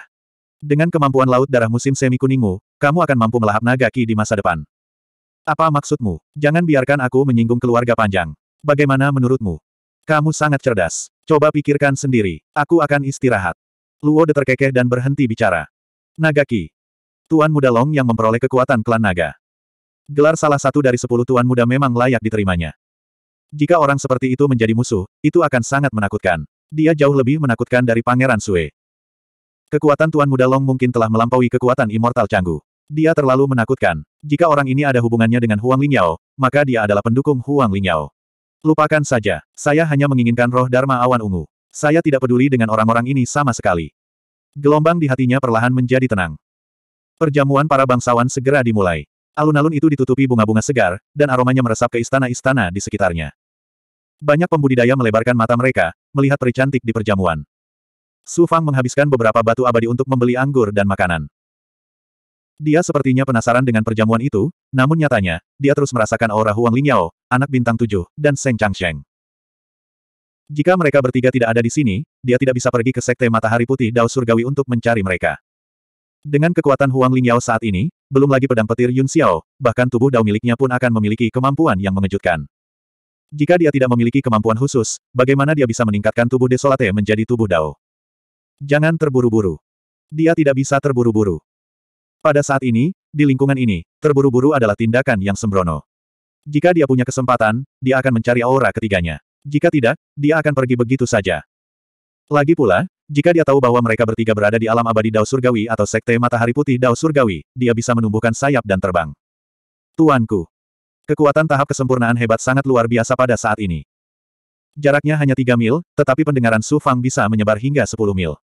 Ada terlalu banyak orang, dan dia tidak bisa mendengar apa yang dikatakan semua orang. Namun, jika dia menggunakan pendengarannya pada seorang kultivator, maka dia dapat mendengarnya dengan jelas. Perhatiannya awalnya tertuju pada Tuan Muda Long, tetapi orang ini jarang berbicara dan memiliki aura yang mendominasi. Sebaliknya, perhatian Su Fang tertuju pada seorang kultivator muda yang sangat kuat dari Sekte Matahari Putih Dao Surgawi. Kultivator ini kurang lebih memiliki aura Huang Lingyao. Sekilas, terlihat jelas bahwa dia ada hubungannya dengan Huang Lingyao. Itu sebabnya Su Fang memperhatikannya. Dia tidak akan melepaskan aura apa pun. Di tengah perjamuan, kultivator muda ini berinisiatif untuk menyambut Tuan Muda Long. Tuan Muda Long dengan murah hati meminta orang ini untuk duduk di samping. Kultivator muda itu merendahkan suaranya. Seperti yang diharapkan oleh tuanku, banyak ahli sekte kami telah bergegas ke Astral Huang Se untuk memperjuangkan dojo Kaisar Iblis Mata Air Kuning. Para petinggi sekte juga telah mengorganisir sekelompok ahli dan mengirimkan mereka. Bagaimana dengan kakak muda Huang? Tanpa diduga, kata-kata pertama Long Saojun adalah Huang Lingyao, orang yang ingin ditanyakan Su Fang. Adikku memintaku untuk menanyakan pendapat Tuhanku. Dia akan mengikuti Tuhanku. Ketika Tuhanku pergi, dia akan datang ke alam surgawi Dao Abadi untuk bertemu Tuhanku. Baiklah baiklah. Aura Long Saojun tenggelam, dan dia sedikit rileks. Menurut intelijen kami, banyak kekuatan dan ahli dari dunia besar telah berkumpul di Huang Se Astral, dan jumlahnya semakin banyak. Bahkan Huoyan Shinrikyo dan Clear Skisto Sun Scrolls Gate tampaknya memiliki beberapa pergerakan besar. Saya harus bersiap. Kembalilah dan beritahu saudari muda Huang bahwa saya ingin merekrut beberapa orang dengan kemampuan khusus. Saya akan pergi ke Astral Huang Se ketika saya sudah siap sepenuhnya. Mungkin dalam beberapa tahun ke depan. Iya, kultivator muda itu mengangguk. Sepertinya dojo kaisar iblis mata air kuning memang sangat berpengaruh. Mendengar ini, kulit Su Fang menjadi dingin. Dia tidak pernah menyangka bahwa Huang Lingyao juga akan pergi ke Huang Se Astral. Lalu bukankah perjalanannya akan sia-sia? Cepat atau lambat, mereka akan bertemu di Huang Se Astral. Dengan kemampuan penginderaan Su Fang, tidak akan terlalu sulit untuk merasakan Huang Lingyao di Huang Se Astral. Jika Long Jun ingin merekrut orang-orang dengan kemampuan khusus, maka saya dapat mengambil kesempatan untuk bergabung dengannya dan mengikuti mereka ke Astral Huang Se. Dengan cara ini, saya dapat bertemu Huang Lingyao lagi dan melihat seberapa banyak dia telah berubah. Mungkin tujuh bintang-bintang dan Seng Changsheng juga akan datang. Hanya dengan mengetahui musuhku aku dapat membantuku mendapatkan roh Ki Dharma Ungu. Huang Lingyao tidak akan pernah berpikir bahwa aku akan berada di sisinya. Ketika aku mengetahui kekuatan mereka dan keberadaan Ki Ungu Roh Dharma, saya dapat meninggalkan Astral Huang Se kapan saja. Bahkan Long Jun tidak akan dapat membatasi saya di Astral Huang Se. Pada saat ini, dia telah memutuskan untuk menggunakan kemampuan spesialnya untuk menarik perhatian Long Jun dan menjadi ahli di bawahnya. Dengan cara ini, dia bisa bertemu Huang Lingyao, Tujuh Bintang, dan Seng Changsheng. Kemudian, dia akan mengetahui keberadaan roh Ki Dharma Ungu. Kesuksesan akan mengikuti secara alami. Hal tersulit adalah menarik perhatian Long Jun. Dia bertanya-tanya dan menemukan bahwa jenius dari Sekte Matahari Putih bernama Mo Wenxian. Dia memang seorang jenius dari Sekte Matahari Putih dan juga seorang murid istimewa. Saat perjamuan akan segera berakhir, Su Fang mendengar bahwa Long Jun telah memanggil seorang lelaki tua dan memintanya untuk diam-diam merekrut ahli di Idol Cloud Pavilion di luar kota kekaisaran. Ia juga mengatakan, rekrutmen harus selesai dalam waktu tiga tahun dan hanya akan merekrut belasan orang. Mendengar berita ini, Su Fang tidak ingin tinggal lebih lama lagi. Dia meninggalkan kota kekaisaran di bawah bimbingan Sang Jenderal dan segera pergi ke Idol Cloud Pavilion. Setelah menunggu beberapa hari di restoran terdekat, lelaki tua itu memang membawa beberapa penggarap lapis baja emas ke Idol Cloud Pavilion. Idol Cloud Pavilion sebenarnya adalah stasiun berita yang diam-diam dikendalikan oleh keluarga kekaisaran. Segera, dia memerintahkan para pelayannya untuk menyebarkan berita itu secara diam-diam melalui kamar dagangnya sendiri. Dalam waktu kurang dari tiga bulan, para kultivator kuat terus bermunculan di Idol Cloud Pavilion. Sudah waktunya. Su Fang tiba di luar Idol Cloud Pavilion dan tiba-tiba membawa Ghost Face raksasa bersamanya ketika tidak ada yang memperhatikan. Apa yang sedang kamu lakukan? Saat dia tiba di pintu masuk Idol Cloud Pavilion, dua petani menghentikan Su Fang. Mungkin karena Ghost Face raksasa memiliki ki yang jahat, mereka berdua merasa ada yang tidak beres. Tubuh Su Fang memancarkan aura tenang. Selain topengnya, tidak ada jejak ki jahat pada dirinya. Saya di sini untuk perintah perekrutan rahasia. Ikut denganku. Salah satu dari mereka tertegun sejenak dan merasa Su Fang luar biasa. Dia menatapnya dan membawa Su Fang ke Idol Cloud Pavilion. Tidak ada orang tambahan di aula utama hari ini. Hanya ada beberapa penggarap lapis baja emas dan beberapa penggarap yang sedang menunggu dan tampak sedikit gelisah. Su Fang memindainya. Orang-orang ini setidaknya berada di alam abadi yang mendalam. Tak satu pun dari mereka adalah dewa surgawi. Kultivasinya adalah yang paling lemah. Untungnya, dia memiliki Ghost Face raksasa. Jika tidak, mereka akan mengetahui budidayanya. Setelah lebih dari setengah hari, tiba gilirannya. Selama waktu ini, beberapa ahli datang dan menunggu. Tidak banyak orang yang datang untuk merekrut. Mengetahui bahwa kota kekaisaran sedang merekrut ahli, para pembudidaya biasa harus berpikir dengan hati-hati. Dia mengikuti petugas kelapisan pertama formasi dan tiba di aula utama. Dia langsung melihat dua ahli duduk di depan. Salah satunya adalah lelaki tua yang muncul di kota kekaisaran, dan yang lainnya tampaknya adalah ahli dari Idol Cloud Pavilion. Dia tidak bisa melihat melalui budidaya mereka. Mereka mungkin berada di level yang sama dengan Immortal Canggu. Kamu adalah seorang kultivator jahat. Tanpa diduga, setelah Su Fang tiba, kedua lelaki tua itu terkejut melihat Ghost Face raksasa. Su Fang menangkupkan tinjunya. Saya dulunya adalah murid Huoyan Shinrikyo. Namun, saya suka memurnikan racun dan menyinggung beberapa petinggi. Pada akhirnya, saya diusir dari Huoyan Shinrikyo. Bisa dibilang saya baik dan jahat. Salah satu ahli di sebelahnya memadatkan auranya. Kamu bilang kamu adalah murid Huoyan Shinrikyo. Bukti apa yang kamu punya? Kalian berdua harus mengetahui teknik budidaya nomor satu Huoyan Shinrikyo, teknik penggabungan api langit dan bumi. Saya akan menggunakannya. Setelah menjawab dan menunggu keduanya setuju, Su Fang dengan santai membentuk segel. Dalam sekejap, lava dan api dalam jumlah yang mengejutkan melonjak dari telapak tangannya. Rasanya seperti gunung berapi akan meletus. Orang tua dari kota kekaisaran tidak terkejut. Dia dengan tenang melambaikan tangannya. Berhenti. Ini memang teknik penggabungan api langit dan bumi. Huoyan Shinrikyo berada di tepi dunia besar Sianau kita. Kami mengetahuinya dengan sangat baik. Lalu, jika Anda memiliki kemampuan lain, hanya kemampuan api ini yang tidak bisa masuk mata kita. Su Fang dengan tenang menjawab, saya sudah mengatakan bahwa kekuatan saya adalah dalam memurnikan racun. Dapat dikatakan bahwa saya tidak dapat dibandingkan dengan Bai Kubing, tetapi saya telah melampaui sebagian besar pemurni racun. Terlebih lagi, racun saya tidak hanya istimewa. Tapi ia juga bisa melahap racun lain. Jika saya menemukan tempat berbahaya dengan racun alami atau musuh, saya bisa memikirkan cara untuk menetralisirnya. 1110. Kami tidak dapat mempercayai kata-kata Anda, kata sesepuh lainnya. Dia melirik ke arah tetua kota kekaisaran dan kemudian memberi isyarat agar Su Fang pergi ke tengah. Bang! Tetua itu tiba-tiba melambaikan tangannya dan menghancurkan sebuah rune. Tanpa diduga, ketika rune ini dihancurkan, racun hitam menyembur keluar. Tidak ada bau sama sekali, malah mengeluarkan aroma. Pada pandangan pertama, terlihat jelas bahwa itu adalah racun yang dimurnikan secara khusus, dan bukan racun alami. Orang tua itu mengangguk. Jika Anda dapat menyerap racun ini ke dalam tubuh Anda, atau menggabungkannya dengan racun Anda sendiri, Anda akan lulus ujian kami dan menjadi tamu Idol Cloud Pavilion kami. Sederhana. Itu adalah ujian sederhana bagi tetua dan Su Fang, dan tidak membuang waktu sama sekali. Su Fang sedikit tenggelam, dan terlihat kesulitan. Kemudian, di depan kedua tetua, dia memberitahu gui-gui di tubuhnya, dan kemampuan gui-gui mulai meresap ke telapak tangannya. Di depan kedua tetua itu, dia gemetar beberapa saat, lalu dia memuntahkan gas beracun. Gas beracun mulai bersentuhan dengan cairan hitam, dan dengan suara mendesing, gas beracun Su Fang langsung diuapkan oleh cairan hitam tersebut. Adegan ini menyebabkan kedua tetua agak kecewa, dan para ahli di sekitar mereka mencibir.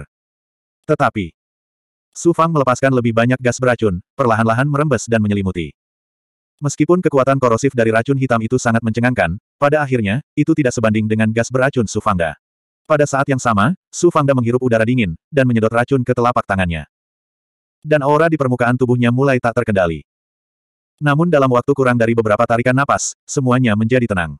Su Fang kembali normal, dan auranya juga tenang. Bagus, seperti yang diharapkan, jarang sekali bisa menelan racun yang dimurnikan oleh orang tua ini. Dia meninggal. Ayo, Bawa orang ini ke belakang untuk beristirahat, beri dia pil yang bagus, dan catat. Kedua tetua itu mengangguk penuh penghargaan dan keterkejutan pada saat yang bersamaan. Setelah Sufang membalas salamnya, dia mengikuti petugas melewati barisan di samping. Di depannya ada banyak ruangan. Dia memasuki salah satunya, dan seorang pelayan membawa banyak barang. Tentu saja, ada juga puluhan ribu pil bermutu tinggi yang berisi berbagai jenis pil. Gui-gui menyerap sedikit racun ini bukanlah apa-apa. Meski seratus kali lebih kuat, ia masih bisa menyerapnya. Pelayan itu pergi. Bahkan dengan susunan di sekelilingnya, Su Fang tidak berani melepaskan auranya. Dia menggunakan seni penggabungan api langit bumi dan buku iblis surgawi untuk mulai menyerap energi spiritual. Dia masih punya waktu beberapa tahun, dan itu adalah waktu yang tepat baginya untuk menelan pil dan meningkatkan kekuatannya. Pavilion Idol Idol Cloud Satu demi satu, para penggarap keluar dari barisan sekitarnya. Su Fang adalah salah satunya. Mereka saling berpandangan satu sama lain. Totalnya ada 14 orang. Yang terlemah berada di alam abadi mistik sementara sisanya berada di tingkat murid khusus. Tidak ada yang mengatakan apa pun. Mereka semua mengerti bahwa melayani Idol Cloud Pavilion sebenarnya melayani alam abadi hukum surgawi. Begitu mereka menyelesaikan misinya, mereka secara alami akan dihargai oleh alam abadi. Bukan tidak mungkin bagi mereka untuk mengalami peningkatan pesat di masa depan. Itu masih yang lebih tua dari kota kekaisaran dan yang lebih tua dari Idol Cloud Pavilion. Mereka tidak mengatakan apa pun.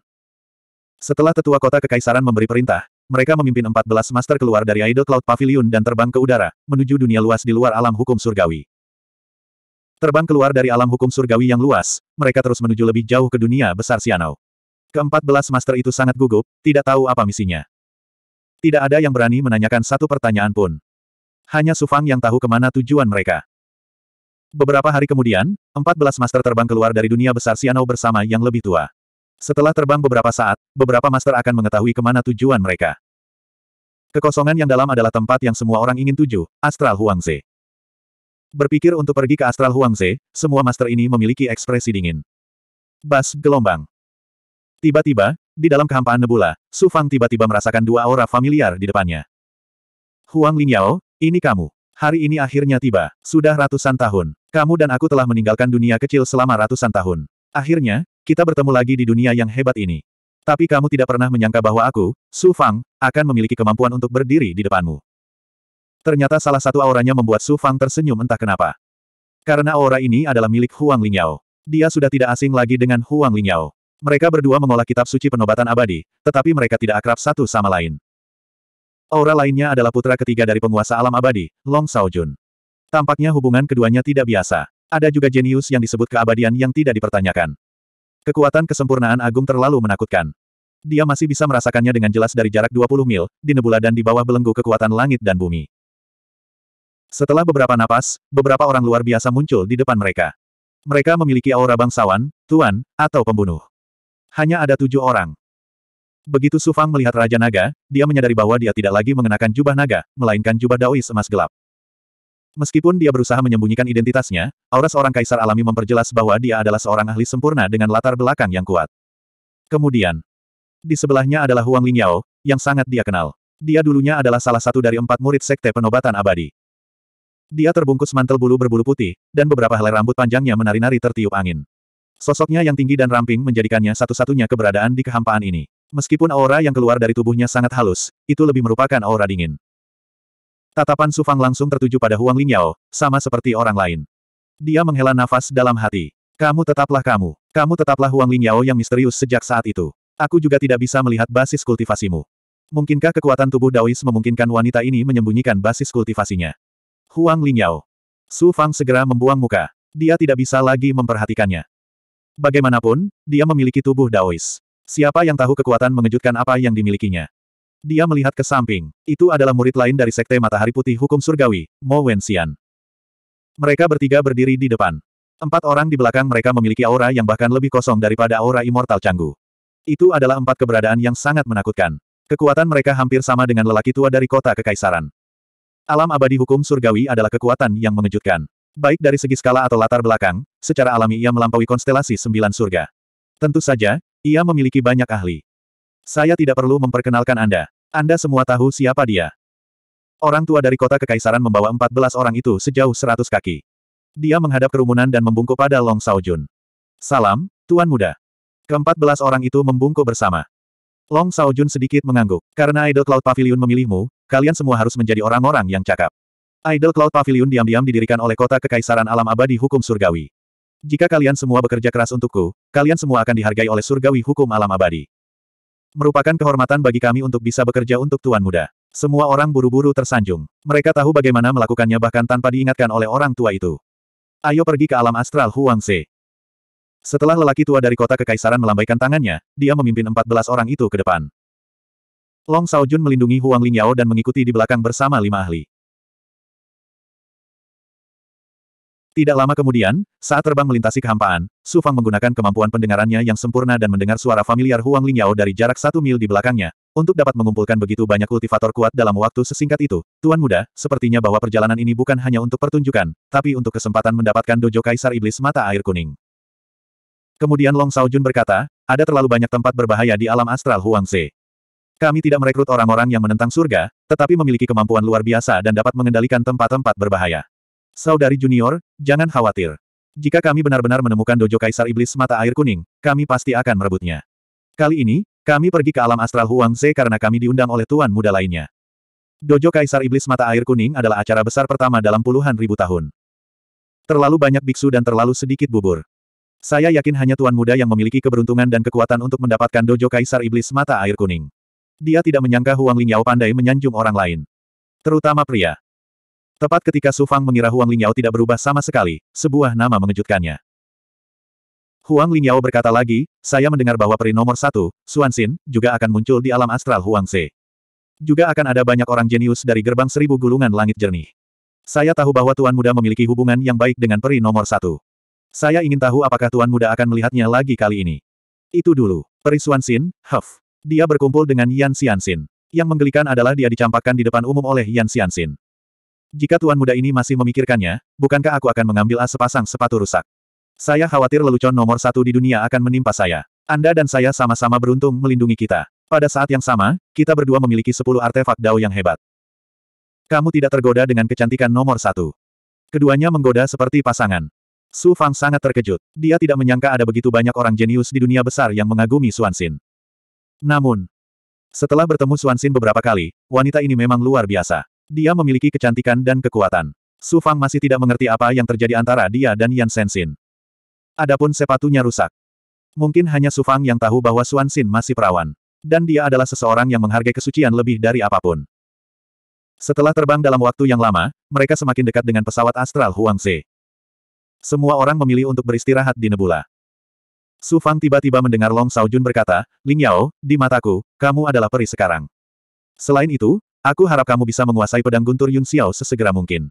Aku akan fokus pada hadiah yang kamu berikan pada ayah sebentar yang lalu. Ada apa dengan hadiah itu? Apa yang salah dengan hadiah yang kuberikan padamu untuk ulang tahunmu? Suara bingung Huang Lingyao terdengar lagi. Kamu tidak tahu harta apa itu. Ketika saya mendapatkannya, saya hanya merasa warnanya ungu. Saya tidak dapat menyatu dengannya, tetapi ada sesuatu yang istimewa di dalamnya. Ketika Ki Ungu menyentuh harta Dharma yang luar biasa, akan ada sedikit reaksi. Hehe, kultivasimu terlalu rendah. Tentu saja, kamu tidak bisa menyatu dengan Kiki Ungu. Tapi di tangan ayahku, berbeda. Kiki Ungu itu disebut roh Ki Dharma Ungu. Saya benar-benar tidak tahu. Huang Lingyao masih belum tahu. Apa? Beberapa mil jauhnya dari keduanya, Su Fang sedang duduk bersila di nebula. Dia hampir berteriak kaget. Untungnya, dia dengan cepat menekannya, tetapi hatinya sudah kacau. Ia tidak pernah menyangka bahwa harta Dharma yang dicarinya akan ditemukan secepat itu. Yang lebih tidak terduga lagi adalah Huang Lingyao benar-benar mendapatkan roh Ki Dharma Ungu dan memberikannya kepada ayah Long Jun, penguasa alam kaisar abadi dari dunia abadi Dao Surgawi. Yang penting adalah Kaisar Rilem Lord Abadi. Dan dia bahkan mengetahui nama roh Ki Dharma Ungu. Mendengar ini, Su Fang seperti semut di wajan panas. Dia tidak bisa tenang lagi. Hanya ada satu kemungkinan. Setelah ayah Long Jun mendapatkan roh Ki Dharma Ungu, Kaisar Abadi itu pastilah seseorang dengan kekuatan dan kemampuan ilahi yang besar. Kemudian, dia menyatu dengan roh Ki Dharma Ungu. Sial, aku juga masih selangkah. Terlambat. Saya khawatir roh Ki Dharma Ungu akan diambil oleh seseorang yang kuat. Tapi sekarang, Su Fang sangat marah. Sekarang, dia sangat menyesalinya. Dia menyesal memasuki konstelasi sembilan surga untuk berkultivasi. Mengapa dia tidak datang ke dunia besar dan fokus menemukan roh Ki Dharma Ungu? Jika itu masalahnya, bukankah mungkin untuk mencegah roh Ki Dharma Ungu jatuh ke tangan Kaisar Abadi?